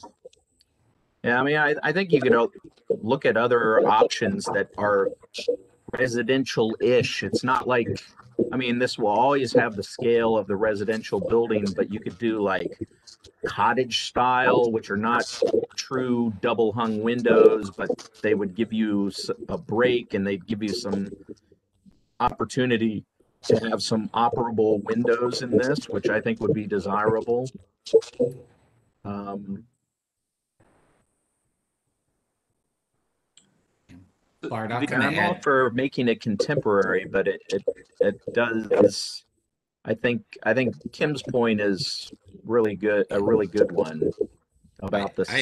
size I- of that panel. I think is what pointed out is that west elevation. You you have this horizontal band that breaks the material, but then the material above and below is the same, and that that to me, you know, is an opportunity to change materials potentially, maybe. And I don't know that this is a solution. Of maybe that's the horizontal plank on the bottom, and then the top reads more contemporary. Maybe it's board and batten. Um, but I feel like there's just not en- enough break in the type of material on the building. So I, I'll speak. I, I I was actively seeking to get more of a commercial look and and trying to avoid so that this didn't just look like a residential um, home that had an office inside of it. Um, the that was actively sought on on my part. Um, I um, and so that is why we went away from kind of the lap.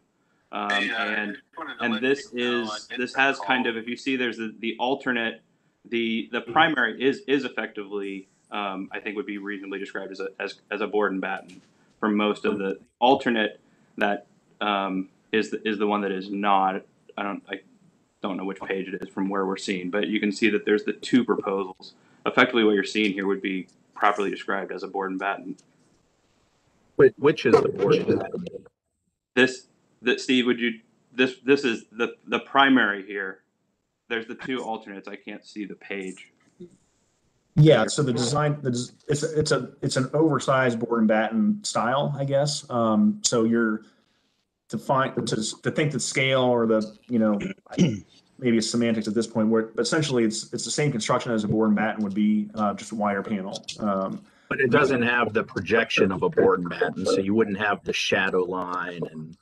Uh, those, the battens are, are gonna sit proud of the panel system. So you're gonna have, you will have that three and a half foot panel or that shadow line on, uh, um, both the top and bottom floors in alignment. Um, What we were But I proposing still- originally, I still think it, I think Kim's point is a good one. I, I think it, this will read like a contemporary, it's not gonna look like an office building. It's not an office building. It's a repurposed, the scale of it is this kind of residential scale, but it can, it can be very contemporary, and I think that's what you're going for. Um, but I, I also think Kim's point is right. It's like the panels, they feel, even though there would be battens, they would be too far in between and, and, uh, it would be a very, um, it would be a very stark finish. Can can you go back to that, the, the picture that showed the fastening system? Because I'm just not seeing the batten. I'm seeing that as a channel lock. It, it is a channel. It is a, it is a opposite of a batten. It is a, it's a negative space between, the Fry Reglet system is, uh, that, that's actually going to be a, a negative space next to the panels. No that's the that's the alternate Oh. That, that, that up there, alternate material would be the Fry Reglet. and and I'll be frank we can't afford that Yeah, well, I was gonna, I was, my next comment was, if you add a, if you add a batten in the middle of these four by eight sheets and get rid of the Fry Reglet, you're probably going to save quite a bit of money. It- There it- you go. we Yeah. were working hard to try to accomplish some something with that that seam that negative space seam and and have not found any alternatives and and we've ex- i think we've exhausted our options so it, it will be the the alternative is probably not something we need to consider any further so it is, it is going to be a vote I mean, Kim, would you, would you be more, uh, towards it if it, if they had added, you know, a, a half measure of, of battens to, to go from the four foot wide planks to a two foot wide plank and, and add a batten in the middle of, of each one of those to more equally space the, the window and Well, again, if you look at the catalog of the bru- the blue, the, the blue siding, the page of the blue siding, I- I think that's looks very nice. But what's interesting about that is they put the vertical panels on the s- second story and the first story is horizontal uh, lap. I, I, and that's a really nice, interesting play in text for that would be appropriate for a residential scale um, building. I don't know.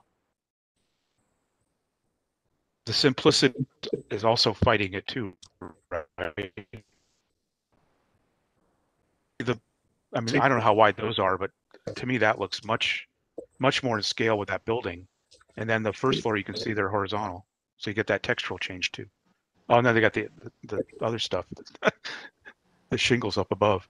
they got everything, everything is on there, yeah. That's the, But Too many things on that. Too many things. maybe This- this is a conversation between between multiple architects here but i from from a non-architect point of view i i understand what the applicant is trying to do with not make it a, a board and batten residential house. I- You know, putting, putting, making it look like the James Hardie panel brochure makes it look like a home, not an office. Um, and I think it, it, it would make it much harder for him to try to find a, a tenant in, in, for an office space, um, doing that. But you're, I think, Kim, you also touched on a little point that was to change the hip roof. And, you know, the, the standing seam roof that's on that is not necessarily a, a cheap solution. But if you, if you, if you took off the old roof and you put a flat roof on it, then all of a sudden the building as designed works a lot better. Um, it becomes an office building and not a house. Um, Exactly. Yeah, you're that that little comment you made made me start thinking about it. Um, I, I, you know, a rubber roof's not cheap either, but um, uh, it, it, I'm not so far against it that I wouldn't I wouldn't be able to to approve it as submitted, but um, I'm not going to make the the motion. I will I will err on letting the architects make the final motion on on what they what you guys want to kind of see. I, I guess I am confused because without those aluminum channels, the big battens then make it feel more residential. Um, I mean, I'm not sure what width you're talking about for um, the piece that's going to go between the boards. I mean, typical board and bat, you know, you're in that. Yeah, so those two, those battens um, are actually uh, trim pieces that, that James Hardie provides. I think they're two and a half inches wide. Yeah. Um, and again, the panel, there's no, there's no one panel that exceeds, um, I would say three, Yeah. three and a half feet at the most. Um, so really the, um, the engagement with the street and how you look at it at this, on the street is, is going to be important to, you know, get that proportions correct because you, it is kind of right, right at the sidewalk. Um, again, I, I think the, you know, we were essentially working with the, with the existing building and, and kind of what it was going to give us. Um, you know, including the roof, the hip roof portion, I, I think, I think costs associated with tearing that off and putting a, a flat roof on or some kind of other more commercially, um, aft roof, again, is, is setting it down the wrong, wrong direction from a cost standpoint. Um, so really it's, you know, the, introducing the, the metal panel on the roof with the larger, the wider ribbed, um, profile, um, the, the wider paneling on the side, um, breaking it up with the kind of the frieze board that runs around the tires, um, the entire perimeter, um, was just enough, I think, for us to kind of give it that commercial feel, um, and not, and not do, I mean, we've exhausted many different elevation schemes, and always have come back to this kind of proportionate panel look as the, as kind of the, the nicest, most appropriate for the, the surrounding context of the, of the neighborhood. Because we would like to associate ourselves with essentially with, with the town street, um, feel and not necessarily the residential housing behind it, um, like it currently does. I don't, I don't understand the, if it doesn't look like an office building, people won't want to rent it as an office. Um, I think what you, you've taken off the porch, you put on a more contemporary statement. The windows are not, you know, I wouldn't, they look more office building like windows. And just having this really nice gray and white, I mean, to me, it looks like an office. That could be an office building. I'd, I'd be interested in renting it. Uh, um, I don't know.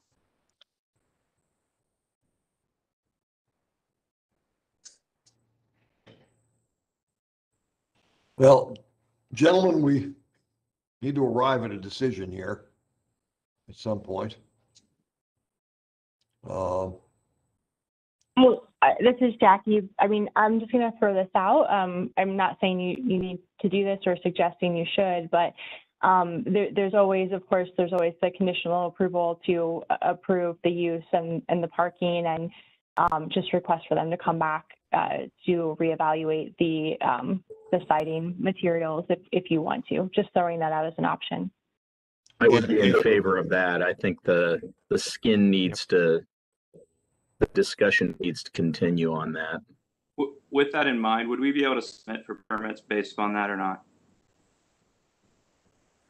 You would not. Okay.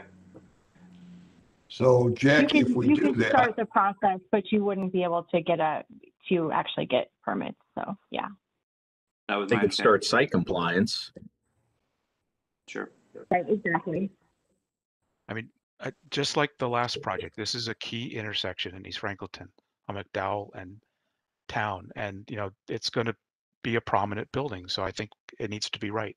It needs to fit in. And if I'm hearing So- you, you effectively prefer a lap siding? I, I don't. I would. I think it look. I mean, again, I think that's an option. We'd we'd be willing to see what it looks like. I think to me it would be fine. Um, but I'm I'm interested in maybe it's that on the first floor and maybe the second floor is vertical. I don't know. Um, I'm I, open to. I think you're on the right track with the vertical. I just, I, I think you could even have random battens. You could, you could develop, I mean, look at what's happening right across the street. They're doing this kind of random board and batten. You could have big panels and then apply the battens in some random system. I would personally get rid of the, the white band that separates the first floor for from the second floor. I think it's just too busy. But I, I think it could be really nice as this kind of random, it's like a gray curtain that goes around the, the building and then you get these, these breaks where the windows geared up as kind of cap. But I think you're on the right track. It just needs another, another look. to me, it's the scale of the material, whether it's horizontal or, or vertical. It's getting it scaled right to make it feel that it fits with that building, the scale of that building. If it's, I'm sorry, it sounded like I was hearing it being, being pulled in two different directions in regards to potentially large, large scale that's, that's all different configurations versus if, if we were to come back with the entire thing basically being uh, a Hardie board lap siding, um, it, it sounds like that also would, I'm just trying to figure out so that we know which direction to be heading in. I'm not in favor of lap siding on this project. I think you're on the right track with a vertical look. I think it could be achieved with big panels that you then put the, the battens in front of those panels to disguise the fact that it's clad in large sheets of uh, Hardie panel, smooth panel concrete board.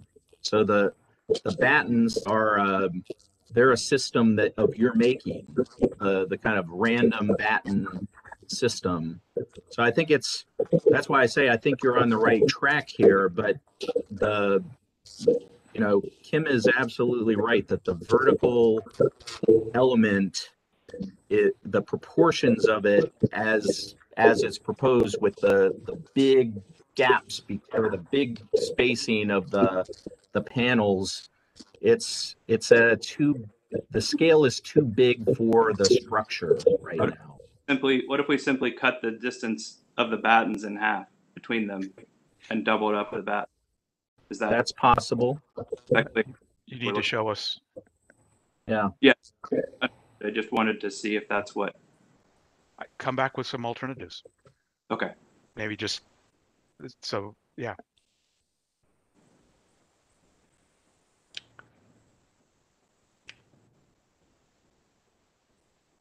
okay. Do we have a motion?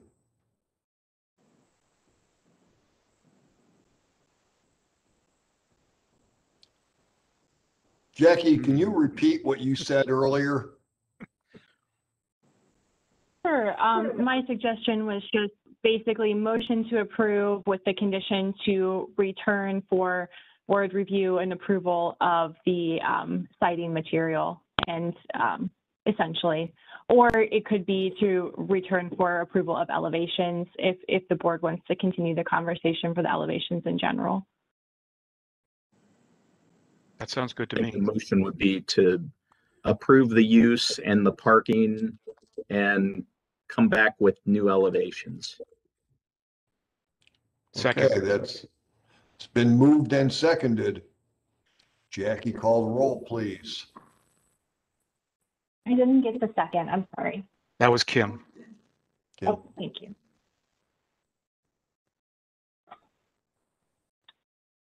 Um, Mr. Bergen, Approve. Dr. Box, Approve. Mr. Samansky, Approve. Mr. Manfred, Approve. Mr. Overley, Approve. Mr. Way, Approve. Mr. Egner. Approve. Okay. Thank you, gentlemen. We'll see you Thank soon. you. All righty. Thank you so much. Thank you. Okay, we have one conceptual application. It is PF twenty-one zero four zero zero four. Uh, variety of addresses here, five sixty-seven, five ninety-five West Broad Street, five seventy-four Shepherd Street, five eighty-two A, five eighty-four Shepherd Street, nineteen Gift Street, and twenty-five Gift Street. The applicant is Arch City Development and the Oz Development Group. The owners are 567 Associates, Fred Workman, and the Catha Corporation, I gather. Uh, And we are reviewing a new 15-story mixed-use building. Uh, Jackie, staff report, please. The site is located Jackie, you're muted. We may have lost Jackie here.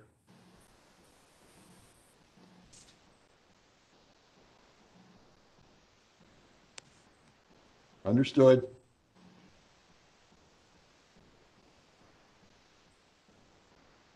Bill, you want to read it? Uh, I'll give Jackie a minute, and if she can't get back on, she can, I'll read it. I'm here. Sorry, Good my deal. call just dropped. I don't, I don't know what happened, but, uh, sorry about that. Um, okay, so it's bounded by West Broad Street to the north, South Gift to the east, Shepherd Street to the south, and South Skidmore to the west. The applicant is proposing to demolish three structures on the site, including a one-story commercial building at the northeast corner of the block, a, an existing motel at the northwest corner of the block, and a contributing single-family home and detached garage south of the commercial building on the northeast corner. Three existing two-story contributing commercial buildings will be preserved and incorporated into the proposed development, and historic tax credits are being pursued or will be pursued, pursued for these structures. Um, the applicant is proposing a 15-story mixed-use building, including three stories of new commercial space on West Broad Street on both sides of the existing contributing structures. A three-story parking garage with 219 spaces with an amenity deck on top, an eight-story residential tower oriented east-west, and a north-south oriented tower with 11 stories of residential space, um, totaling 206 studio, one and two bedroom units. Um, you know, these are a lot of this, this is conceptual. So I just want to say this is, you know, all draft information, but uh, we were told that um, approximately 60 to 70% of the units are being proposed to be affordable at 80 to 100% of the area median, median income. And the applicant could speak more to that if anyone has questions on that because this is a conceptual review. Um, the 12th floor of the north-south north-south tower will be reserved for a rooftop signature restaurant. And there's estimated to be about 17,500 square feet of commercial and restaurant. Um, the proposal is generally consistent with the recommendations of the plan. Staff is supportive of the use and density as they are consistent with the plan's recommendation for the West Broad Street corridor. Staff is also supportive of the requested modification for an increase in height as the additional height will allow for the proposal to include a significant number of units to be affordable and allow three historic structures to be preserved. The location of the development on West Broad Street in close proximity to State Route 315 is also a mitigating factor for the additional height. The plan states that parking garages should be um, should include ground floor uses or be screened, and that buildings exceeding five stories should provide at least one additional setback above the fifth floor. Um, it recommends street trees and contributing structures to be incorporated into new development. staff has the following comments. Um, we're recommending to activate the streetscape along Gift and Skidmore by lining the parking garage with townhomes, um, or, you know, a retail or some other use, uh, just to have some type of lining. Um, to preserve the existing single-family home on Gift and incorporate it into the site design. Um, that could go along with potential townhomes on that street. Recommending a potential setback on the higher floor along Skidmore to provide some relief to the street frontage and neighborhood. And then also, of course, street trees along the frontages. Um, staff is not providing a recommendation on the parking reduction um, at this time, as there are many variables um, to the composition of commercial space, historic register listing, and including of, of affordable housing remain to be solidified. Um, staff does recommend the applicant perform a parking study in the future to provide additional information to staff um, to review relative to demand and the need for proposed uses. And as it's currently proposed, the conceptual application would include a modification to the East Franklinton um, district standards to allow an increase in height from 60 feet to 166 feet, and there would be a request for a parking reduction as well. Okay. Thank you, Jackie. Any questions for staff?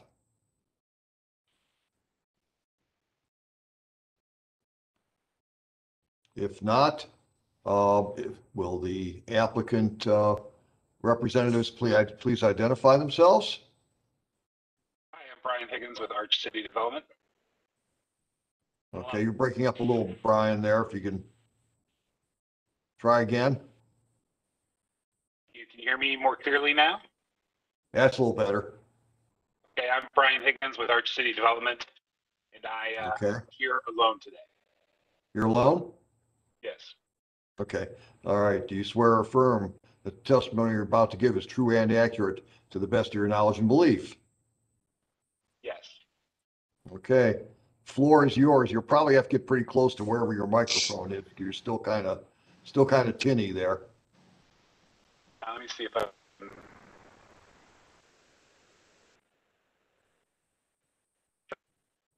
Um, it is. Uh, I think Jackie did a pretty good job explaining the situation. There's not a lot to add because this is very conceptual, so I don't have a good sense of materiality or anything to the to that degree. I can tell you a little bit more about affordability. We're currently restricting 23% of the units are affordable to households earning up to 80% of area median income. Another 55% on top of that would be between 80 and 100% of area median income, and then the remaining 22% would be affordable up to households earning 120% of area income. So it's not affordable in a low-income housing tax credit kind of way, but I think it's very much in line with uh, workforce housing affordability guidelines. I'm sure that was probably a question that you guys were going to have, so I figured I'd just uh, jump in there. It is our intent to preserve the group of buildings in the center of the block. Um, although, like a lot of buildings uh, of that area, they've had a number of additions. As you move south, we would want to just retain original building footprints. Um, then, you know, had add some complementary commercial space on either side of it. Uh, so the parking structure would begin behind that, sort of set back behind those existing buildings. And we, I imagine those would be, you know, some combination of office and or retail uses. No idea about tenancy or anything like that. Um, but um, yeah, and then as Jackie mentioned, the top floor, imagine some sort of rooftop amenity, you know, in line with what you might see at Lincoln Social or uh, Smith Brothers or something, something to that extent. You know, um, views of downtown, drinks, light uh, fare, kind of thing. So those are the highlights.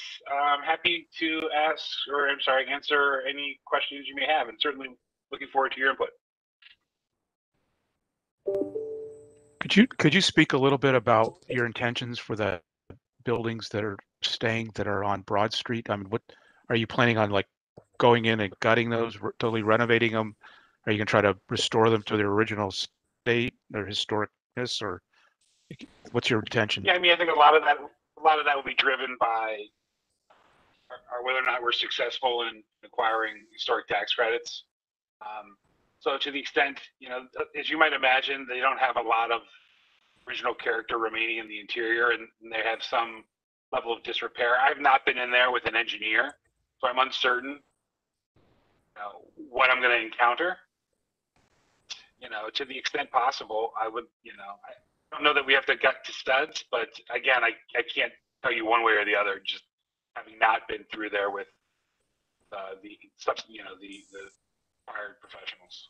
But the intention would be to retain them um, without a doubt, or is it subject to their structural stability? And might they, uh, at some point, you say, "Well, I can't save it anymore. I just need to tear it down." I mean, I've literally had buildings collapse on me when I was nowhere near on site. So I can't tell you that they, they won't fall down, but you know, I would like to imagine that uh, that we can preserve them without uh, a whole lot of drama. You just putting eyes on them. I don't think they're uh, in that level of disrepair. Uh, whereas I, I think they would have to be, you know, in other words, this is not a precursor to satiate you and later turn around and say that I can't save them and I intend to demolish them. Um, I imagine my intent is that you know should be enough room in the budget to do this, especially if we were to successfully uh, acquire the state historic tax credits on top of the, the federal ones. Thank you. Thank you. Uh, so you have, you have this layer of historic buildings on Broad Street. And then my question is really about the, the proposed massing. I, I think that, you know, Broad Street can certainly support a building of this height. But to me, the massing feels like it's not really, there's something about putting the taller building on the side street. It doesn't feel like it's fronting broad. Like somehow I, I, I feel like the, you know, if you have the layer of the historic buildings and then you're this idea of a, a roofscape, that would be something that would want to front onto Broad Street. I assume that's the that's the terrace of the lower building that's up high, but I think there's also an opportunity to to front Broad Street with with some sort of social amenity down low, you know, a kind of sky lobby for the residential pieces. Uh, so I I don't know. I'm just I I have a lot of questions about the general massing of the project. I guess. You know, I thought, you know, I, I think it, it certainly could creep, you know, look, thinking about the, the current design, it certainly could creep all the way to Broad Street, which, you know, it doesn't, doesn't really quite do. My, my challenge was how to deal with those historic buildings. You know, I, I didn't want to try to build on top of them, you know, or completely surrounding them. That, that provided some challenges that I, I was not um, interested in entertaining. So I, I don't know. I hear what you're saying, Bart, but I'm not sure, you know, how how to do that in its entirety and still, you know, um, not swallow up those historic structures. Well, maybe Brian. you don't save all of them. Well, that's know? that's what I was just getting at. It was, are those historic buildings or are they just old? Um, Right. I, I think there's a there's a difference. I, I mean, those are those are old two-story buildings on Broad Street in what is essentially becoming more and more downtown. There there aren't a whole lot of old or historic two-story buildings in downtown anymore. Um, I, I, you know, I would almost be in favor of pulling that pulling that east-west um, entire building out towards the front of the building and or out towards the front of Broad. And you know, if there's not, it's hard to tell from all of the renovations. To your point, Brian, of these these buildings, but uh, they sure don't look like there's significant historical value in these. They look like three old buildings that were, you know, on on Broad Street 75, 80, 90 years ago and that's that's their only claim to fame. Just because they're old does not necessarily mean they're of historical relevance in my opinion. Is the one on the east actually just one story? It, it looks like you're showing it as two story, but when you look at the photograph, it looks like a one story building well, with a the, one that says tattoo, Yeah. that one is going to be demoed in and it's a two-story Oh. commercial space that'll be built in its stay. So that's a new component. Okay, I didn't read that. Yeah, Got so it. there's two story or two story or or lofted space for commercial and um, amenity entrance lobby on on Broad that would flank both of those spaces. Brian, this is um, I mean I know it's early conceptual, but this is a a much better feel of a project. It's also bigger, but it's a it's a much better project than than when you last came with you know kind of trying to squeeze in around a couple of houses on gift and um, this is this makes much more sense for a, a building of this massing. appreciate that. And you know, I, I assumed that retaining those uh, buildings was important to the EFRB, and if, if it isn't as important, it's maybe more important to, to mass along Broad Street. That's certainly something that you know we could really kind of flip flop these two sections of buildings, where the taller one could go you know east west on Broad, and the smaller one would go north south somewhere else, whether it's in the middle of the site again or whatever. Well, also, I think there's the opportunity of treating both of the side streets with some equivalence. And I, I think Jackie got at the, the idea of at least screening the garage. But I feel like you could have a, you could have a U-shaped building that could, could give, and maybe it even brings the scale of this building down a little bit. Um, but I, I don't know, for some reason, the, the two legs kind of, it, it sort of, the massing of it feels like hospital bed tower right now, you know, like a, something about it just feels like there's one project. This is the site that you could do one, one, one project. It doesn't have to be the, the, the multiple elements. And, and I am very supportive of, uh, you know, evaluating the historical significance of those buildings. And it, it just, it presents all sorts of development problems for you. Uh, it, it sort of sounds like the Hampton Inn across the street from the convention center, which I don't think we want, you know, like that kind of pastiche of historic buildings kind of glommed into a contemporary building. So I, I think I would be very supportive of investigating that as a possibility. Can I weigh in here? Absolutely. Um, Bruce, the question has come up on these three buildings that they're wanting to save on Broad Street as to what historical significance they have. This is Mr. History, and he can tell you in a couple of sentences what their his, historical value is. Can you speak to that? Does he need to be sworn in? And swear. Do you want to swear him in as a historical expert or just well, listen to some chat? Yeah, and, and, and, and you're, you're very faint, Judy, so if you can get, if you can get your speaker going a little, your, your microphone going a little better, that'll be helpful. Okay, I'm not sure how to do that. Where do I do that? Actually, you're closer to it now, so, Okay, Yeah, so you- Bruce, get. cl- Do you want to hear from Bruce is my question. sure. Uh, Bruce, uh, state your name, please. Bruce Warner, like a And- Warner Brothers. Yeah, let's just cu- cue up Bugs Bunny. Okay, uh, do you swear or affirm that the uh, testimony about to give is true and accurate to the best of your knowledge and belief? Yes, Okay. Proceed. I know the uh, the big bike shop. That it's Fred's big bike shop. Been there for many years. Uh, I've been around uh, in Franklinton since 1958, and it's been there ever since. I'm pretty sure. Uh, it's it's an old building. Uh, those three old buildings. It's probably the last of the old buildings in that area down there. Uh, that's about what actually was there before. I don't know. Uh, I, I always lived further west, up towards Avondale. Uh, but, the, but the one, the big, and I know Fred bought those buildings down there. I think. Um, that's about all I know about the buildings themselves. I just thought I'd grab him as he walked past, if that's all he knows. Well, I've all I So- know. The applicant might want to do more history. I want to say something else, though, while I've got the floor. The, the residents of Franklinton were very adamant in the planning processes that went along um, heavily paid for by the city to not have those skyscrapers more than five stories at the sidewalk. And I'll, I'll stick to advocating for that. I don't mind the rest of the chatter, but I sure don't want to see skyscrapers. This building will set the tone for that part of Broad Street, and pretty soon we'll have a canyon that looks like New York City. Thanks. Good.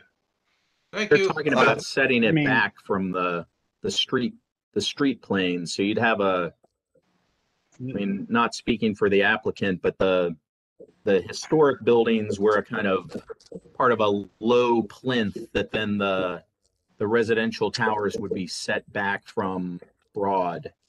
Yeah, I heard that, but I also heard somebody talking about tearing down those buildings so the building can come forward, and that's what I'm saying, no, no. Oh, I see. Well, maybe it's new, uh, like a new low building comes forward. Okay, I do like the idea of trying to save those historic buildings, if for no other reason than across the street from this is the um, Holy Family Church, which has been there more than 100 years.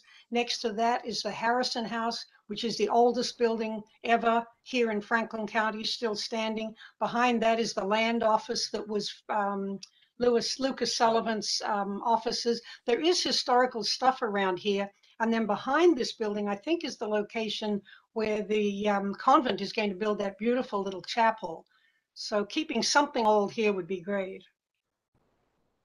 I'm So. I, so I would say, Judy, that, you know, I, without knowing really how those buildings are going to be renovated and integrated into the project, it's very hard to assess their contribution.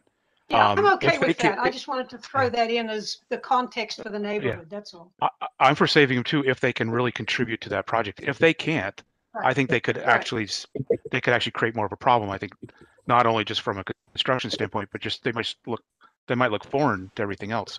I, Yeah, as an, from au- an I aesthetic, would- from an aesthetic ultimately pragmatic. standpoint, they would be very hard to, very hard to Yeah. keep without changing the, with the aesthetic of the entire building. I think I've been around long enough now to have credentials as being pretty pragmatic. I, I would actually Can I advocate jump that in? if, if they were, can I finish? Yeah, go ahead, Um, go ahead. Mhm. If if they were to be demolished, um, and again to Judy's point, not bring the building forward, but I would keep the space and make it a, an open space, a green space. And I would actually say the first levels of the uh, floor of the parking garage then could be um, leasable space, so that you have a, a, a like a pocket park that has you know a restaurant or something at at the base of the garage, and you have a place to come out onto on Broad Street. It's a pretty inhospitable uh, street right now, and I think there's the future to, you know, to integrate these things to make it more of a people place. I I'm just done. wanted to jump in and just provide some clarity on the question of um, the historical value.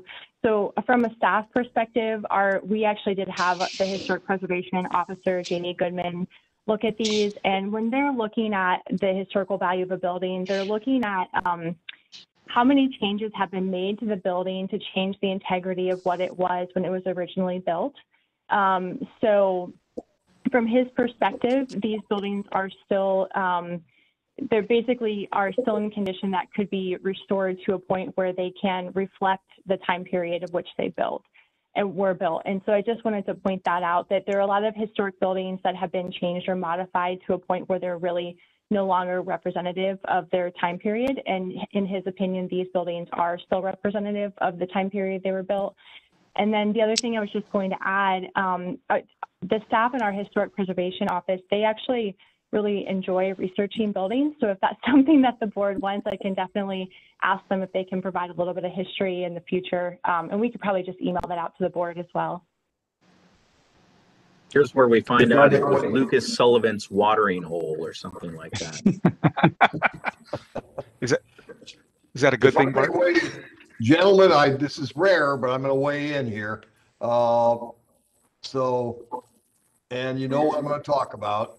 So it's, it's, this, this is a presidential issue. We are, if we ever, if we approve a building of this magnitude, particularly without the historic buildings, um, I realize staff, staff loaded it as much as they could here to, uh, to distinguish this from any, as a, uh, as an exception to precedent, but, uh, uh, particularly without the historic buildings, um, it's going to be difficult for us to ever deny uh, an application along Broad Street based upon the height of a building um, within any, within any sane reason again. Uh, because now we're, now we're looking at, now we're looking at, at buildings that massively exceed the development standards on both ends of, of Broad Street. Um, and so the next one that comes a block away, uh, I think we're gonna have a rough time saying no. So, uh, I think we need to keep that in mind. I think staff needs to keep that in mind. My two cents. And, the other, the, the other factor about um, height is, um, is the, how many units do you have to build up affordable housing to make it work? And does that drive the, the, the height of the project? Because you're trying to get a, enough critical mass to make it financially viable. Um, I, I, I think we need to understand some of those issues too. Definitely a I factor. think if it's a three-sided building, the, the height of this thing can come down a little bit. But I also, you know, I'll just say again, I think Broad Street, Broad Street all the way to I seventy can support and, and should be able to support, um, higher density on, on West Broad Street if they're carefully designed and, and cleverly designed projects. I don't disagree with that, Bart. I just have to point these things out. Absolutely. And, and I have another, a question for staff, um, Jackie. We, you know, the east, the east-west corridor study that's going on right now and looking at making Broad Street into a major transit uh, thoroughfare is going to change the character of that street. And I think as that corridor study evolves, I think it would be good for the board to understand how its recommendations impact East Franklinton. Is that something we can get some updates on as that work progresses? Yeah, I'm sure, I'm sure that would be possible. I'll, I'll reach out to, um, Justin Goodwin, who's the project manager on the city side and find out when a good timing might be for a presentation on it. That'd be great.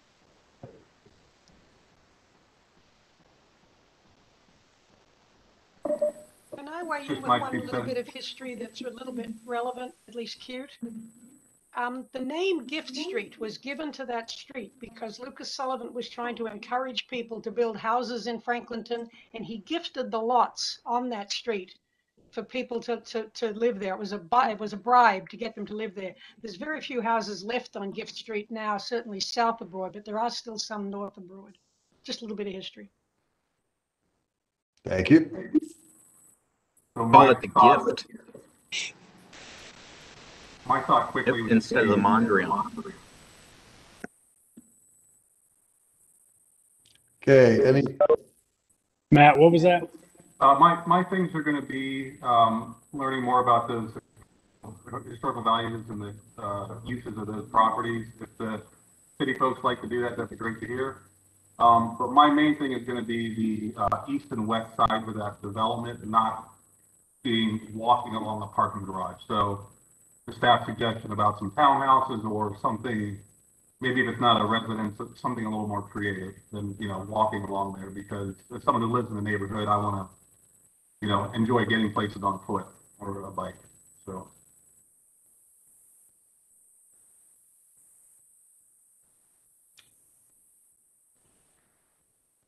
any other feedback for the applicant?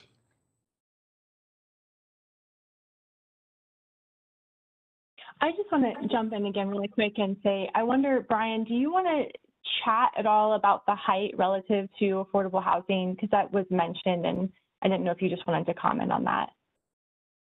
Um, there's a couple things that are driving the height.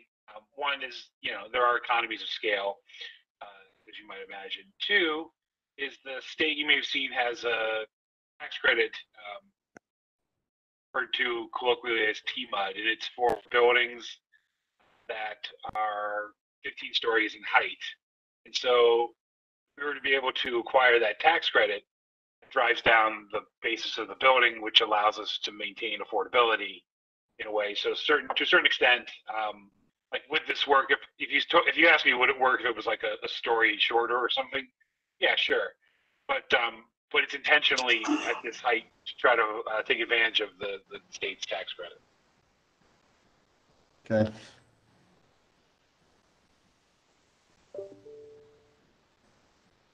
All right, anybody else?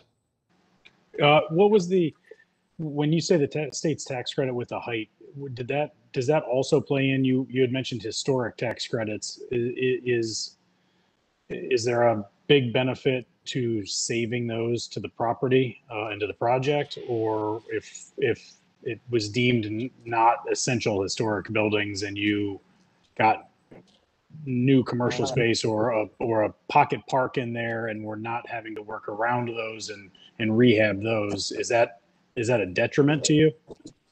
Not really. I mean, sure, if you get the state and the federal tax credits, that's forty-five percent essentially of your construction costs that you can recover in that credit. Uh, but these buildings collectively are pretty small, so they're a small, relatively small part of the project. Like together, they're let me see here, under seven thousand square feet.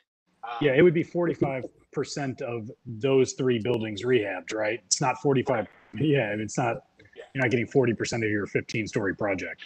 Now, depending on what, you know, the Department of Interior and everybody in the state makes you do, y- your, your costs may be higher than they would be on a traditional renovation project. Right. So you you may not recognize quite as much benefit, although it's, um, you know, so, so no, to answer your question, it's not a huge deal. It's just another tool, which we certainly would take advantage of if that were the case, but, um, it does not, it, it doesn't really significantly impact the overall project.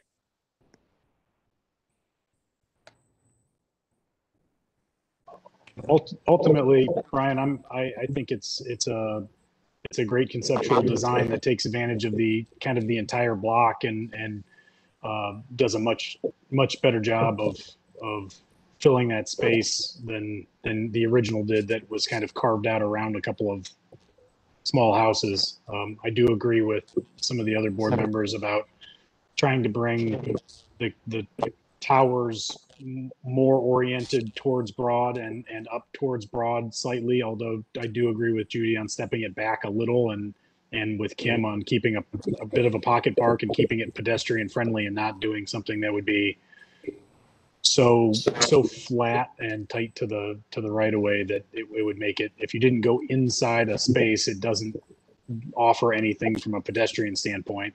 Um, but it's a, I think it's a great uh, conceptual design.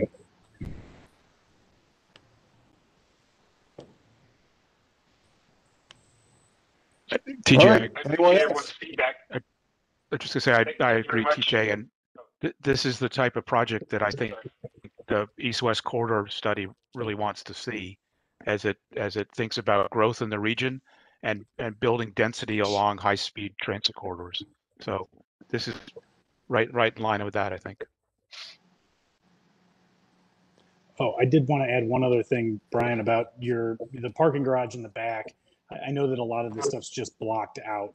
Um, but, but I, I would think that it would be good to kind of capitalize on some of that. If it's the, if the roof of that parking garage isn't being parked on, then that would be great green space for, you know, all of the residents there to look out over, um, possibly use, um, the, the office space or the commercial space to the east of the historic homes. Looks like it has a, a blocked flat roof that could be usable. Um, you're probably already thinking about that and talking about it, but I mean, it's, it's, that's good flat space that, that wouldn't be very nice to br- bring in some soft, uh, green space or, or uses. Yeah, we, we imagine the, the roof of the garage um, being sort of an amenity deck.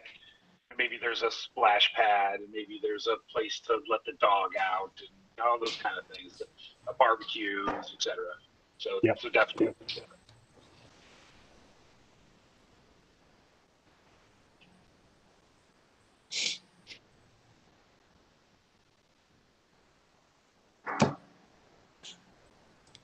Okay, anybody else?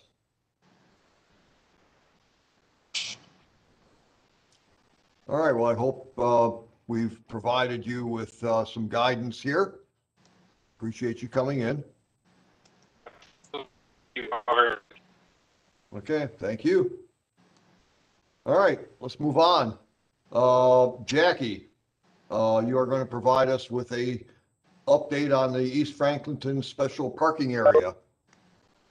Yeah, and I'll, I'll try to keep this quick because I know we're, um, you know, past five already. Um, so I'll go kind of fast, but then open it up for any questions. So we, um, we presented the special parking area staff did to Development Commission twice.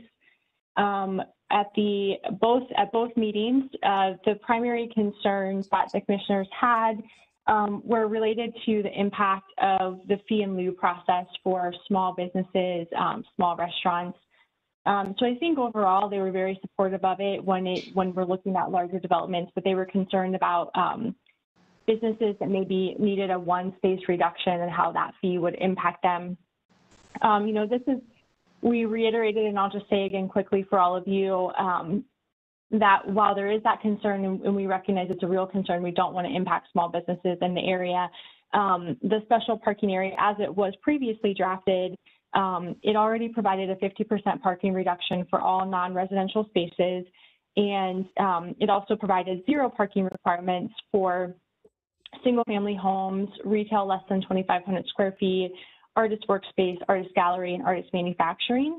And then we also, of course, uh, built in the uh, additional parking reductions on top of that 50% off when um, a user was reusing a historic structure because we know that the historic structures oftentimes don't have space on site for parking, just like the single family home we were looking at today being turned into office. There's nowhere on the site to, to put a parking space. And so we, we've got that built in already. So we felt like we, we had a lot of the bases covered, but in order to respond to their concerns, um, we, we went back and looked at what are other, um, what are other uses that really require fairly small amounts of parking where, where we might see these needs for just a one space reduction or a two space reduction and how can we try to mitigate that need. Um, so what we're proposing to do is add uh, to the special parking area zero space parking requirement for um, a restaurant use, which would be less than 1,500 square feet, which was brought up today. And so that could cover a deli like we were looking at today, coffee shop, you know, any type of anything that falls under restaurant use. We're also looking to say um, zero parking for office and medical office, less than 2,500 square feet. We know we want to encourage um, office space and, and office. Um, these uses really have very small parking requirements anyway, based on the space requirements. And then we're also um, adding an additional one space reduction for two, three, and four unit homes. So a single unit home, we were already proposing to be zero parked.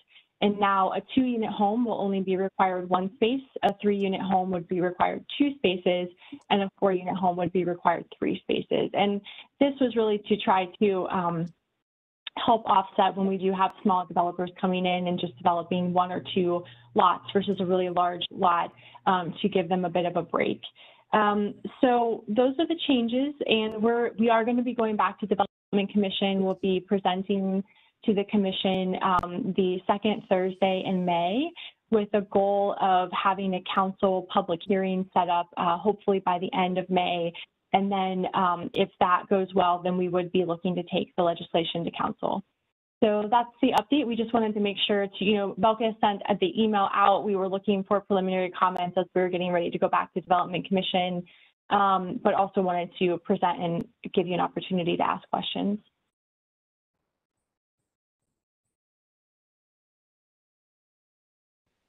Any questions? Appears not. Okay, thank you, Jackie. Uh, I'm Yeah, going to read, I'm going to read into the uh, record our staff approved application, which is EF 2104001, 415 West Rich Street. The applicant's Brian Collins, the owner is CMHA, and the approval was the Yellow Brick Pizza Outdoor Dining Patio. Uh, And with that, we are adjourned. Thank you very much. Jackie, if you give me a call, please, when we're done here. Yeah, yeah. Okay, thank you. All right, thanks, everybody. See you next Bye. month. Thanks, everybody. Thanks.